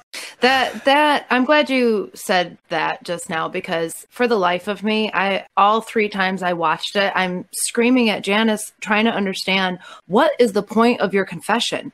What is that gonna what is that gonna do except make everything worse? But yeah, now that you explained it that way, if Strand had put it to her that way, she would have confessed to save John. That was the only way to put it to her. You know, like Yeah. because That's the only thing that makes sense. You know what's really crazy? Is something John says in this episode. And he says, You're the cl-. he says this in the beginning when he's trying to figure out what's what. He goes, the last thing he says before Janice is being accused, he says, You're the closest thing I've got to family. And mm-hmm. now that I'm reviewing this episode, that like broke me a little bit. It's like, is that true? Oh my god. Is that true? I mean, isn't Strand technically stationed there? No, he's he's in, he's part of this inter community council. So he goes from he travels.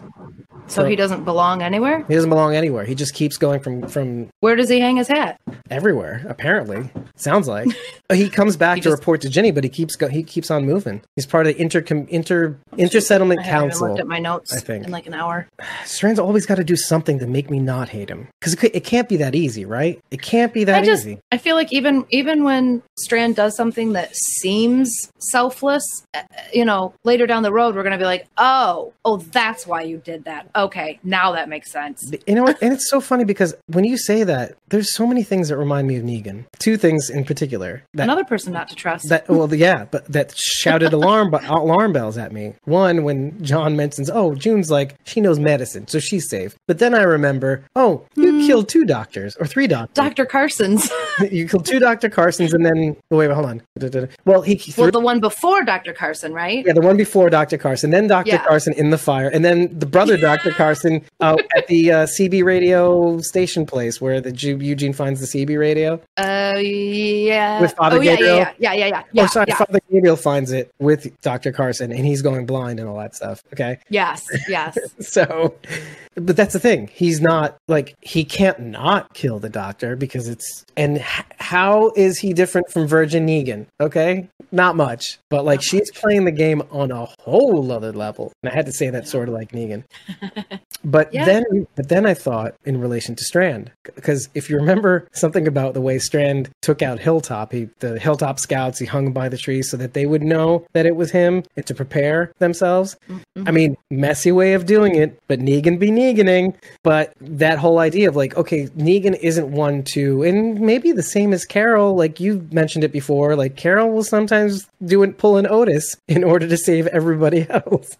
I'm not Why? Why do I? Why am I okay with Carol doing that? I don't That's know. I even said I'm even giving Carol credit. Be like, no, she doesn't mean to do it. She's like an accident, you know. Like she doesn't mean to, you know, me whatever. In the past, you know, past is the past, right? Yeah, I guess. I guess I see. I see Carol as a selfless character. right. Strand is out for himself. I think that's why I can justify it. But that's that's what makes him Super Strand Three. Is that like he becomes a Negan Carol, kind of this weird combination of I'm not afraid to Otis a couple. Pe- I love how Otis is like a verb now.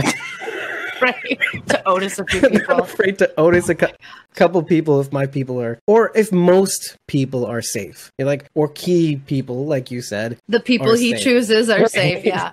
But for, but for the see, God help you if you're not on Strand's good list. Wow, who would have ever thought that we would ever say that about Strand, though? Right? In a weird way, like, oh, Strand is the person I'm supposed to be worried about.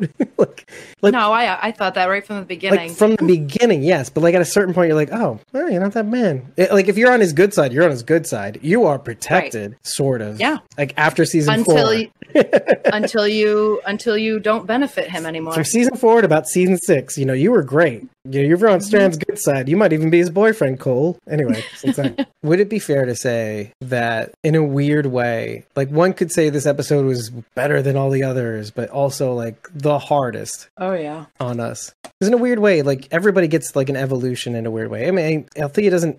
The Althea episode reads a lot more like you can't always get what you want, but you just you might find you get what you need. That's sort Yeah. of thing. And then like Strand's episode is like kind of the same in a weird way. Can't always get what you want, you just might find you get what you need. Uh, and then Morgan is kind of the same way too. But then with John, it's just like, oh, you get what you want, but you don't get what you need. I feel like this is another reason for like people who hated seasons four and five to almost celebrate that like things aren't always going to go the way we think it's going to go. Yeah. Charity's saying every, everybody else evolved in a positive way, kind of, and John has definitely evolved in a negative way.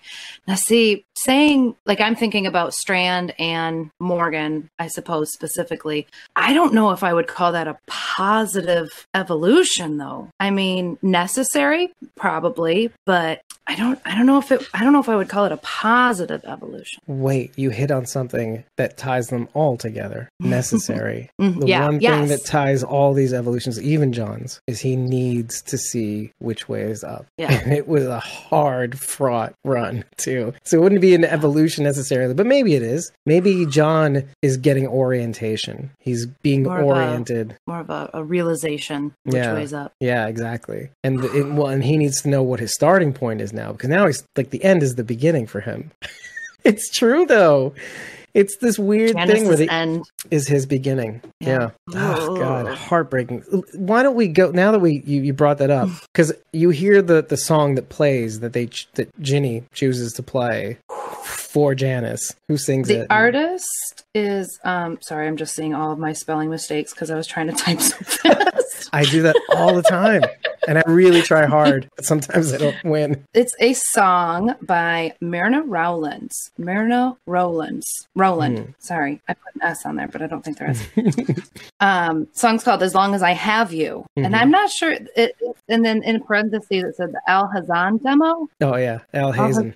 Al Hazen demo. Is that okay? That's a person. Yeah, is it a demo for him? I was confused about that. Al, Al Hazen made the demo. Well, actually, isn't he? It sounds like he's is he he the one singing in this one? I thought it kind of sounded like a lower register female. And then I saw I thought it sounded like a higher register male. It- eh, but honestly, I, it could it could be either way. It, Yeah, it- but I know it wasn't the original. Actually, Sharon have saying the it was- pulled up. Sha- Sharon was saying it was also used in an episode of Better Call Saul too. yeah, when I was trying to find out more information about this song, that the episode of Better Call Saul came up, and I was like, "Oh yeah, Sharon, they mentioned that." What's interesting about that is it sounds like it's somewhat in the same context. Like yeah, as, as long So as I I- have you. So it, it sounds like and this Ooh. happens a lot, by Oh. the way. Like uh, what's her name? Diane Warren writes songs for like Rod Stewart and all these other all these other artists, right? She sung them herself. She has sold those songs off to other artists to sing, like Rod Stewart, that I know for sure. And the, and the, she's even licensed those songs off to other artists later on in soundtracks and stuff like that. So it's not uncommon for that sort of thing to happen, where a songwriter will just go, "Oh, here, take this. Oh, Al Hazen, take this as your demo," and you know, and you sing it too. You know, so I'll license this to you as a songwriter. hmm Wh- which one do you think sounds The- more apropos, though, or sounds more fitting for the scene, though? Um, the one that they used. I mean, I that so, dark, too. deep register was more haunting, right? Yeah, right. especially considering what was going on, what was what he was walking into, and and the lyrics. I mean, really hit Dark. home here too. Oh yeah, it starts off and says, "And if my dreams never do come true, and every plan that I've made falls through." I mean, that's I John still right there, you. right? Yeah, right. I won't care. I won't cry. If you're there, I'll get by. I won't care as long as long as I have you. yeah, yeah. June. June. Yeah. And if the sky sh- should shatter and fall and tumble down to the sea, you just just let it fall. No, it won't matter at all if you if you still if you still believe in me. So if the oceans all turn to sand, just as long as our love will stand, I won't care. I won't cry. If you're there, I'll get by. I'll get by. That's the key phrase. Yeah. Right. And I like what Charity's saying is how like uh, there's an irony to it because you could say that yeah, as long as June is there, I'll get by. But what Mhm. Charity says in the theme of you can't always get what you want, which I said earlier, John got June, but she's now a reminder everything that just happened, even if it's subconsciously that will always be there. So that Ginny put a stain on their relationship that can't be removed is his beginning heartbreak. Right, his his heartbreaking beginning again with June. So Yeah. And this is not a- really the beginning of their marriage too, right? I mean, Yeah. they got married and then immediately were separated. So this is them coming back together as husband and wife for the first time too. Right, right. And, and you know, in a weird way, in a weird, weird, weird, weird, weird way, though, this this this is kind of like a mirror of what he went through, but also what June went through. Like what he went through when he shot that the whatever the criminal that was running away, ste having stolen something, and then he shot him and it accidentally killed him. He zigged when he should have zagged, that sort of thing. Oh. He went away for that, and so this is kind of like another thing where he went through this process where he didn't realize that it was going to lead in this direction, but it was going to be this in this direction this entire time. That Janice was definitely going to get killed one way or the other, and that maybe even quite possibly he accidentally put her in harm's way by pursuing this case that he could have just left alone. Ginny basically manufactured the scenario with which he could recreate that again. But I said June too because when June stumbles onto John's cabin or in the back of his cabin or whatever floats up on his shores, it's in under similar auspi- uh, like inauspicious circumstances where she was trying. Was she at that point? Was she trying to get back to her? No, she wasn't trying to get back to her daughter uh, with the with the antibiotics. She was already dead, I think. Right? I think so, yeah. Yeah, and so this is after having similarly just tried to do everything she could to save her, and yet she couldn't, and she had to leave. So there's the same thing going on where because she covered up her daughter's illness, she ended up dying, and it ended up killing everybody in the FEMA camp because she turned, and then all the things happened. And so there's like a similar there's there's all, there is a bit of a similarity going on there. Like you know, I was doing it for the right reasons, but it ended up be going all wrong. You know, John stopped the criminal for all the right reasons, but ended up going all wrong. And John pursued the truth no matter what, and it ended up being the very thing that got Janice killed in the end. And again, all being set up and orchestrated by Ginny, this cult leader. Let's just say. Yeah. So that's funny. Charity says it sounded like a song from the era where his dad was looking for the serial killer. Yeah, quite possibly, like in the Oh. 80s. Was it 80s or it wasn't in the 80s that he said it was happening, or was it the 70s? I don't know if he gave us Probably a time 70s. frame. Yeah, I don't know. I, I would, I would, I was picturing the 70s just based on John's age and how old his dad must have been and when he was active. So I, uh, a lot of Yeah. inferring there yeah, that, that that would make more sense. Yeah, when he was knee high. yeah, when he was knee high. That's right. Not not too Yeah. old. Right. Good good call, Nisa. I, I wrote down my Jewish lesson about tzedakah. I did look up the literal. See, the thing is with tzedakah, tzedakah is the act of giving. It's charity, actually, literally. Rabbi Kessner does mention this, but the literal translation of tzedakah is righteousness, which I found very interesting because I'd never heard of tzedakah being used in that context. But, but then I realized what the different levels of tzedakah. It's like not just giving to the poor. There's there's eight rungs, and of those eight rungs, there's like giving when the person's asking, giving when the person isn't asking but you give them anyway, giving to the person when it doesn't when they don't know that you're giving it to them. There's there's levels to the levels of righteousness when you give. You know, all the way down to the even the bottom rung, which is still applic- applicable, which is like giving but not enough. is still stuck up, you know, but it still applies, but it's not that great. But I, I like the the relation of this with Rabbi Kessner and John because I feel like Rabbi Kessner is like this avatar, you know, because when I look at Strand and, and Rabbi Kessner, I feel like there's there's what John should know, and that's Strand, in a sense. Like Strand knows what's going what's up, you know, knows Okay, yeah. up from down. Rabbi Kessner's still operating within this system and maybe has an idea of what's up and down, but still believes in righteousness, maybe, you know? And he maybe is even like the Dwight in this episode, encouraging John to, to press on and do what's good, you know? Until the end when he realizes there's nothing to do. Or and he even says at the end, like, maybe there's another way. Maybe there's another way. We did this before. We were able to redirect before. Why can't we do it again? Oh, because Ginny is in control of the chessboard. So in the end, it's really weird how the show f- almost, which is why it's so jarring. The show is almost forcing us to see things Strand's way, even though it's a hard pill to swallow. It is. It's very difficult. I feel very awful, like admitting to this fact, because I, I feel like the more we go on with this this show, every episode, further and further, we're gonna see Strand's point of view, and we're gonna see how right Strand was. I don't care. Right, I get it. I, I'm where you're at, but I have the unfortunate predisposition of having to fucking defend this guy. So I was about to say it, but I do. I, I can't. I can't. It's like last week when I said, "Oh, we're gonna have. We're gonna be forced to at some point, maybe, possibly see June. June might die because it fits Ginny's narrative." Blah blah blah. Okay. Charity's gonna light you up. You better watch it. Well, now I'm thinking like if John doesn't really see what's up, like he's on the chopping block. I hate it. I hate everything. I hate the show for making me like it. Oh, like Strand. Sharon's like, stop, and he says like, ha ha ha ha. These are the these are my two avatars right now. Sharon, Sharon's like the good avatar, and Lisa's like my favorite avatar. I mean, sorry, they're my bad avatar. Oh no, am I Strand? I'm having an identity crisis. Uh, that's why I like you guys a lot. I I look, I have things, but I don't want to talk about them anymore. I don't know if there's anything left to say. I'm going crazy. Um, I- the only thing I have left to say was my little, my fun little tidbit that isn't really about the episode, but Garrett. so, in the very beginning, we see John Dorie writing a letter to June. Did you happen to know what hand he was writing with? Was it the right hand? His Or was he left? left. Was he a lefty? Garrett okay. Dillett, Garret Dillahunt is a lefty, but John Dorie is a righty.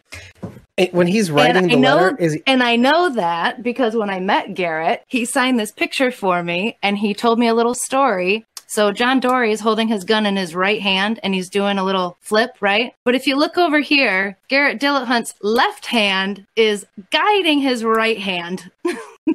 oh, so he's like mimicking the movements. Yeah, yep. Look at look at this hand. This hand is going through the motion so that this hand can pick it up. This came from D- Garret Dillahunt himself. He he told me that story about that picture. So when I saw him writing the letter to June in the beginning, left-handed, I, I noticed it immediately. And then later, when he goes out to shoot the walkers that are eating Janis, he shoots with his right hand.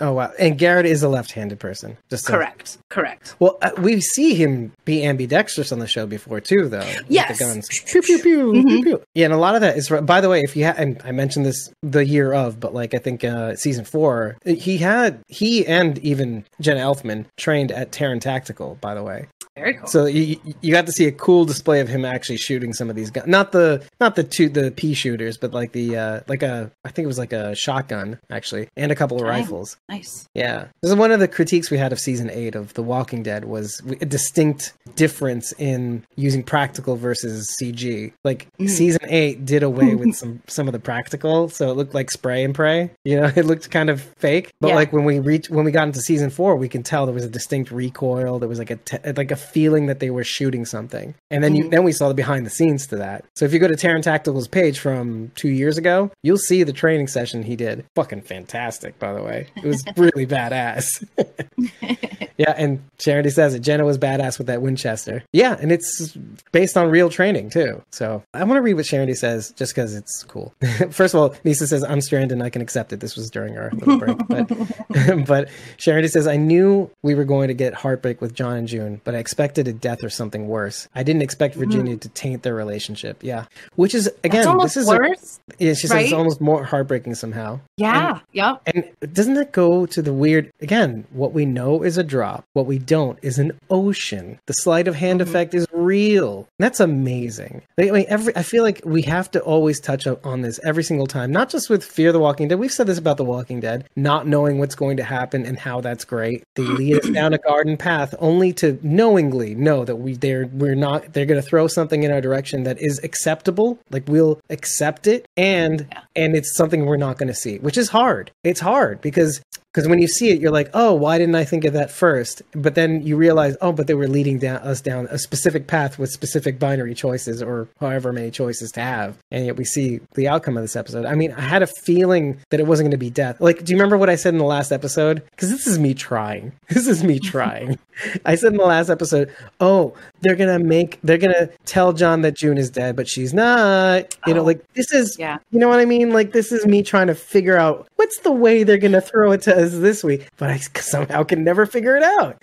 And again, it's not it's not to figure it out. It's just to just try and have fun. That's the thing. I almost see now in talking about that, and maybe I'm wrong, and tell me if I'm wrong, please. But I almost think it would have been even crazier if the knife was his that was used to kill Cameron. Was John's It was knife? John's knife. Yeah, it would it would have been crazier had they have used John's knife to do the dirty. Mhm. Right? It would have in some way tied it together a little bit easier. But I can see why they didn't do it. Only because the point is not to implicate John. The point is to confuse John, to have him keep going, to keep finding the truth, to keep pushing, keep trying to do it, and to almost find an unfindable killer. You know. And in the meantime, you know, the real killer gets executed. You know, and that sort of thing. Like they don't want him to lose his sense of right and wrong. They just want them him to know what which way is up, like when to give up and when not to give up. They're going to point in a certain direction and tell John it's up, and he needs to believe it. Yeah, and maybe they need him for law and order. Maybe they need him to occasionally, you know, solve a real crime. But at the end of the day, whatever Ginny wants.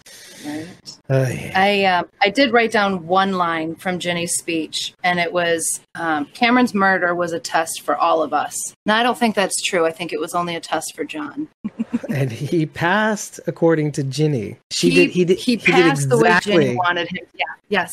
He did exactly what Ginny wanted him to. Yeah, I mean, you could say, hmm, you could say this was an episode, like a John centric episode, but at the end of the day, this was showing how this is a Ginny centric episode in a weird way. Yeah. Ginny is a master I chess hate- player. I hate saying that. I really do. Like even I'm saying I hate saying that now. I don't I don't mind how clever she is because I think it's going to backfire in a catastrophic way on her. So Right. go ahead. But- she can think she's smart, But you know, man, but like, someone's going to be smarter. we thought that about about Negan too. Do you remember like all the way back in season six, seven? And we are like, who's this Negan guy? Oh, they'll figure it out. Blah, and we did not figure it out. Right? I mean, do you think back? Everybody's naked. Think think back, right? Think back to how you felt. Like, oh, they'll figure this out, they'll overcome, and it's like, no, they never really did. And and it's like two and a half, so maybe three seasons, Yeah. and you know, you keep I- going at, at it the same way. And I had comic book knowledge though, so I, that that situation wasn't totally fair for me. right, I did can you know who Negan was. But can you imagine how how bad it was for us? Thinking, oh, they'll Yeah. get it, they'll figure it. Oh no, they will not. And so there's Not there's a too late. Yeah, yeah. And so that's it's so interesting to like almost have this knowledge maybe as a front loaded knowledge sort of thing like oh don't don't be too sure who's going to defeat who and this is why I say this is because and again this is why I have to mention what I mentioned the last episode which was you know it may be and uh, by the way because of the events of this episode Morgan's interaction with spray paint guy and the other guy who happened to get killed in this episode now it makes me wonder because they don't know about Ginny at all so now it puts me back on track with the knowledge that we have that Ginny is after Morgan ultimately with this army that Ginny is forming, of which John may end up being a part of. Hmm. And uh, you passed Cameron's test brings us back to this point, which is in order to maintain this privilege of having Jenna, of Jenna, oh my God, having June in his life, is he even aware up from down enough to to make the right choice about going after Morgan or not? Is he going to be forced to be put in the same situation as Strand was and say, "Yeah, this is about this is about saving June now. You know, keeping June safe. It means Morgan has to go. You know, will will he right? This is what I'm saying. Like this is how you make a yeah. I'm I'm I'm not willing to say yes or no, but again, the question is the thing that makes us go makes our skin shiver because Ginny's in a perfect position to like possibly make that happen. hmm This is the whole purpose. This is the same thing she did with Strand. Like I'm wondering who's fooling who with Strand and Ginny. Ginny still. You know what I mean? Yeah. I want to think that Strand's playing Ginny. You know, he's getting close. He's playing, he's being Negan when he joined the Whispers, right? Yeah, That, that's what I want to believe. I really do. It's Strand. So I just don't know. Yeah, and, and and you know who's playing again? it- Like like Nisa says, they're playing each other, it- which is maybe Ginny's plan. Like, oh, I'm gonna keep him thinking that he can make plans and God laughs. But as we find out, him appointing Janis, just on the face value of it, him appointing Janis to laundry duty was his way of trying to do that. And then when he finds out, he quickly squirrels away, and you know obviously has to fall back and think of another plan. You know, he he can't be the one to be found out, and I think Janis even knows that too. Like, okay, you know, you did what you did to try to get give me some purpose and whatever, but you know, at the end of the day, it didn't work out, and well, here we are. And I'm not. And again, this goes to what John says: you're the only family I have around here. You know, and then it kind of goes to what Janis says: like, you know, without Strand, without you, without the rest of this gang, I really don't have anything. And so I'm not willing to risk my life to get Strand in trouble and you in trouble. You know, you two people who were there for me. So I don't know. Yeah, this is going to be hmm. tough. And straight, just like Sharon says, she's putting them all through boot camp and setting them straight in her own way. So I, I don't know. Which is also cool that there's a Morgan thread throughout these episodes too.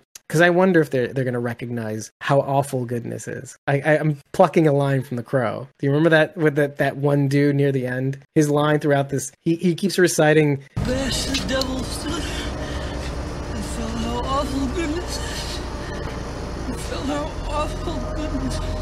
like Morgan looking at his reflection and saying, I don't know if they'll recognize me, but we feel like he's on a good path and he's Yeah. going to try to bring them to somewhere good. But is everybody else going to be in a position to be able to accept that? That's what is crazy. It's like we're watching, it's like that math problem. We're watching two freight trains, you know, uh, like, like hit each other. Where will they impact? How will they impact? And Jenny says it's like, he, she's like the cult leader in the desert brainwashing everybody. One other thing that kind of gave me pause, and I wanted to know your opinion on. So after Ginny pins the key onto not Garret, J- John, Yeah. I see Um, keep doing that. he looks out um, and he makes eye contact with Dakota. What did you What did you read on her face? well, what did you read? Because I didn't pay too much attention to that. I felt like she felt I- disappointed, or like like not That's disappointed. exactly but- what I. That's exactly what I wrote down. Is she disappointed, disappointed in a little? herself. I see sadness on her face. Is she sad because she sees the torment that John's going through because she knows he was trying to find the truth and obviously it didn't pan out because he's being pinned as a hero. So is she sad for that? Is she disappointed that he never found out the truth? If this was her all along, did she want to be discovered? That was another thought I had. Like when she said she's covering for Hmm. someone. I it almost felt like Dakota wanted to be caught. Found out? Yeah, maybe. yeah, yeah, Yeah. and it didn't Like if, turn if what out. we're that way. assuming is true. Yeah.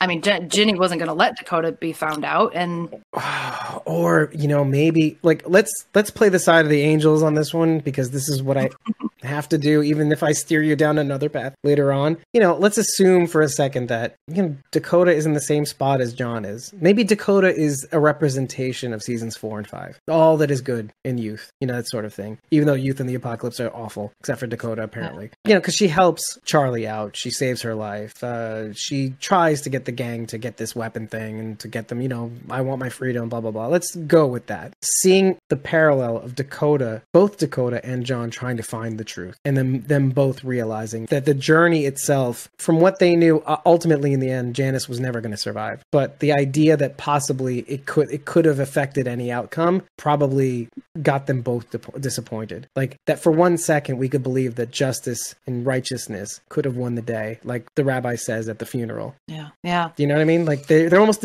you know what? Who said it in the episode? Oh my god. It's not in this episode. It's something that Hope says. It's like I'm almost disappointed in myself that I thought for one second you could be my brother. And this happens to us mm-hmm. a lot. A lot of the times when we're upset with other people, we're mostly upset at ourselves for giving other people a chance. Usually, right? yeah. Oh, John Dorie has a killer line too. Right after he kicks the shit out of Strand, and he's screaming, "Janis was right. This place destroys everything." And I wrote, "He doesn't even know how right he is yet." Yeah, we don't even know how right he Right. is yet, really. As soon as June shows up, I mean, that place destroyed everything. Yeah. Ah, man, how awful goodness is. Oh God. Which immediately made me think of the, the the rotting tooth in his mouth too. And the worst part about it is going back to what I was trying to say before. was that the worst part about it is he's more disappointed in himself. It's true. He could have seen what up was down right from the jump, right from when they captured him and separated him in June. Right? Think about it. Like he should have known up from down from the very beginning, but he gave it a chance. And maybe because this goes to kind of what Strand did. He's like, maybe we should hear her out in season five. Maybe remember what he said um, when Virginia was Yeah, calling he was to the one who suggested that, huh? Yeah. And uh, oddly enough, John is the one who gives it a try, you know? Strand was not down with it from the very start, kicking shit into Ranger's feet and that sort of thing, kicking the, the planter's peanut guy without, without arms, arms and legs.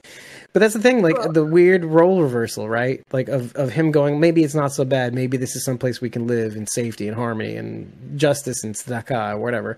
But at the end of the day, you know, we want to give people the benefit of the doubt. But like when when you can't feel the rot in your own mouth and you can't see it all around you that the game is rigged, you know. And I feel bad. See, this the thing is that the reason why I keep referring back to those people who criticize seasons four and five is that these are the this is the perfect episode episode for them because you know with all the goodness and and trying to do right and making the po- impossible possible. This is a perfect episode for them because this is a perfect representation of taking all those feelings and subverting them. Like saying okay this is the byproduct and this is why it can't work anymore. This is why your armor doesn't work anymore. And i i love it on a narrative level. It is crushing to watch. It is crushing to watch but it's genius. I will admit this episode is fraught with genius. Awesome excellent decisions to make all throughout the way. The, the goose chase the tying it in with the dad and then using that and making that the entire raison d'etre for this episode is like this is all about you and it's going to be because of you. And you're you're going to have at the end of the day you're going to have nobody to blame for yourself for not seeing it in the first place. I mean you could even say like john you're a shit cop you know because you did, you couldn't see the the forest for the trees for this one. Well, he was probably still thinking, you know, old world ways, how oh i things wrote that down. should should work, not how they do work, but how it should work. Right. And how weird it is that that can change. The idea of up versus down can change situationally. Yeah, can Yeah. be dangerous too. I mean, if he starts giving into the to the direction that they're pointing and saying that's up, it's one thing to say, okay, yeah, that that's up, this is down, but don't believe it. I guess, like in the back of your mind, you you still need to know what's true. Right. You need to know the rules. like something like John says before. Like you you know, and it's like it's like you think the rules are physics, like they're always going to be the same, but they're not, you know? Physics here changes. Charity also says someone and talking about people on Reddit with comments, uh, someone compared Dwight and Sherry's reunion to John and June saying it was you know, John and June's was flat. But the point, that's the whole point. You know, and it's good to compare the last episode with this episode, how they, though both reunions came at the end of the episodes, you know, Mhm. but it's supposed to be flat because it's not a joyous reunion, really. So both of them get a reunion, but one is not cracked up. And hell, for all we know, you know, maybe Dwight and Sherry's reunion is short lived too. I was just thinking that we don't really know yet if Sherry and Dwight reuniting is necessarily a good thing yet. Yeah, and maybe the past is dead. Man, I'm getting depressed. Ah, This show better take an upswing pretty quick here because uh, we're not going to make it to Christmas, I don't think. or not. I mean, I, I, I don't know. I'm not. Look, I could listen. I, this is me saying. This is all I'm going to say about how I feel about the season so far. Is that I know I can take more. I don't know how much I can take, but I know I can take more because it is good writing. It is just really good writing to, to the to putting it on screen to editing to cinematography. Clearly, because of the dark mirror comparisons and the green that I spotted out. Like it's when it dawns on you, it's like, oh, there's poison running throughout this episode. Just Sharon D says Janice did say the season would be dark, I don't think Jenna pr- quite prepared us for how dark. and I don't. Yeah, I don't think she could. well, no, Like no. some but- and you, and could you blame them? Because sometimes somebody says something is going to be one way but it's not enough of that way and this is a whole other darkness than i even anticipated it would be. Like when you say dark i think oh cinematically oh my god and you know what just occurred to me? Like mm-hmm. do you remember how I was, I was describing in the look ahead those disgusting zombies? Did you catch that that look ahead also by the way oh No. please do because hmm. once you look at that you're realizing oh god it gets worse from here like who gets who has to face off against those things oh my Right. god the demon walkers oh, yeah. Oh, God. Yeah, those guys. this is how dark it gets thank you good night None of the Walking Dead universe shows are like any other show on TV. Not any shows that I watch anywhere where each episode, you know, has the beginning, the the problem, the resolution, the ending. Like you everything is, you know, nicely tied up. We have a beginning, a middle, an end, and you feel good at the end of every episode because, you know, they caught the bad guy or whatever. I watch a lot of crime Yeah. shows.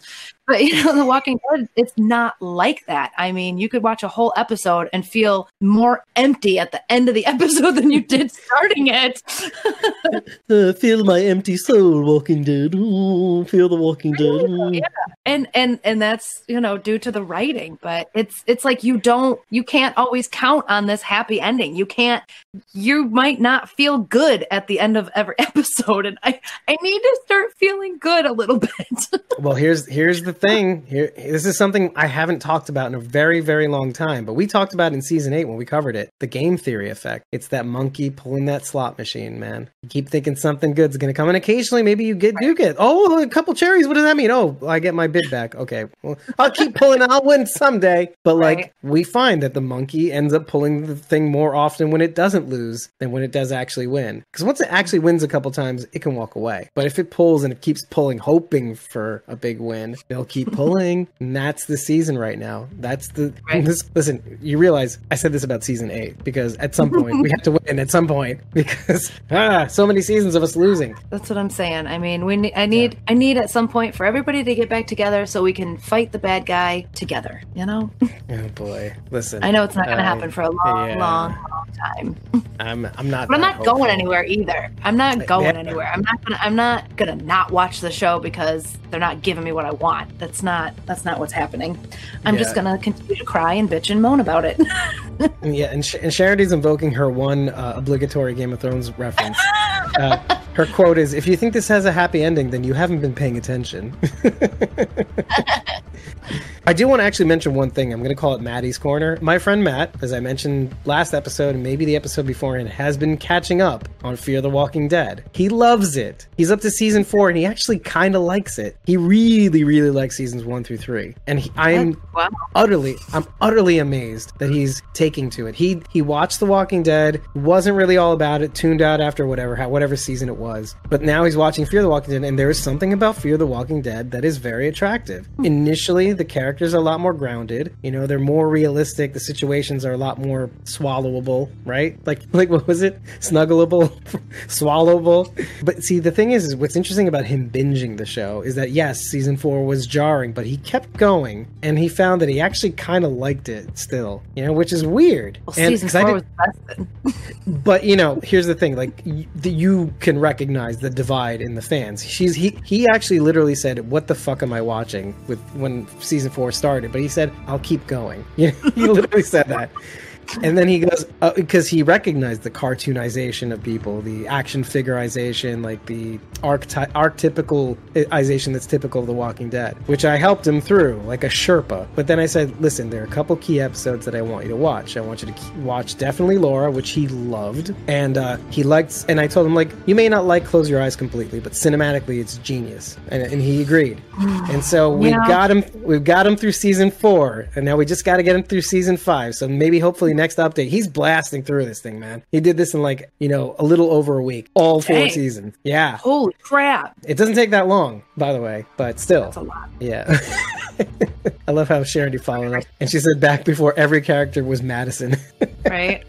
He's not up to the season five yet, where every character's Madison, by the way. So, but I feel like I'm going to update you guys next time about Matt's progress in a separate segment called Matt called Maddie's prog- progress.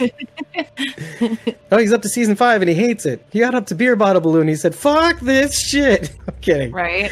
I, I'm very curious now because it, he. This is the thing. This is why I'm so curious because he really actually liked episode eight, the mid-season finale of season four, and that really took me for a loop because not a lot of people did. Which one was it? What episode that was, was, it? That, that was Madison's death episode. You know, Oh. Uh, but like, but like, he really liked how that went down, and that really, I'm not often surprised in that way. What I mean is, there are expected reactions I get out of that episode. Usually, that it, not a lot of people liked it. First of all, because they either liked it because they either didn't like it because Madison died, or they they didn't like it because the people who wanted her to die wanted to know how. like, you know what I mean? Like, yeah. and all and also found it like like why because they hate that character and maybe correct me if i'm wrong why spend so much time on that character it's kind of like the carl death in a way they kind of slow mode her death in a weird way and it took too long and whatever. Well Well, carl's was over a couple episodes. Yeah, and we were. I mean, you know, Madison was technically the you know a main character, so she needed to go out with style, I guess. yeah kind of like maybe rick's way of leaving the show too because you know in a weird mm-hmm. way. I mean he wasn't didn't he leave wait season 8 season 9 yeah yeah wow weird. Okay. Yeah in a weird way they did madison like they did rick. Like they just de-emphasized the show to a point where main characters are not main characters anymore and then they can leave the show. Oh Yeah. that sucks i mean you know whatever. No i don't care. Yeah let's move on. Look again i'm gonna take you back to the beginning of this episode when i kind of groaned um because it's it's like you know it's two hours and 45 minutes later on the unedited version of this podcast. And now if you want the unedited version of this podcast and trust me this episode's gonna be cut to shit.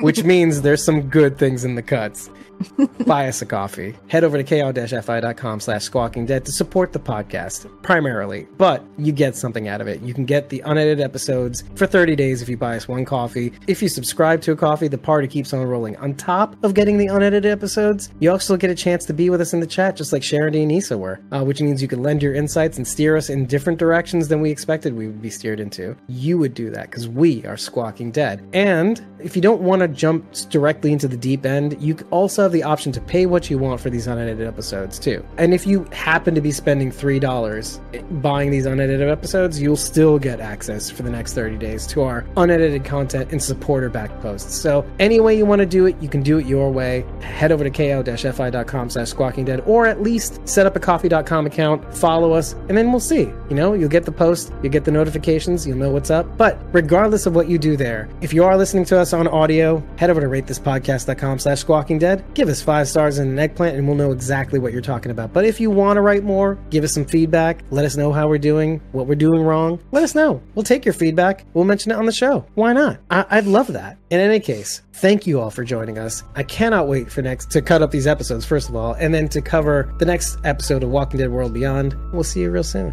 Thanks for joining us. Bye. Bye. I'm a serial, I'm a serial killer. Stop! You're gonna turn Ginny on. Boo!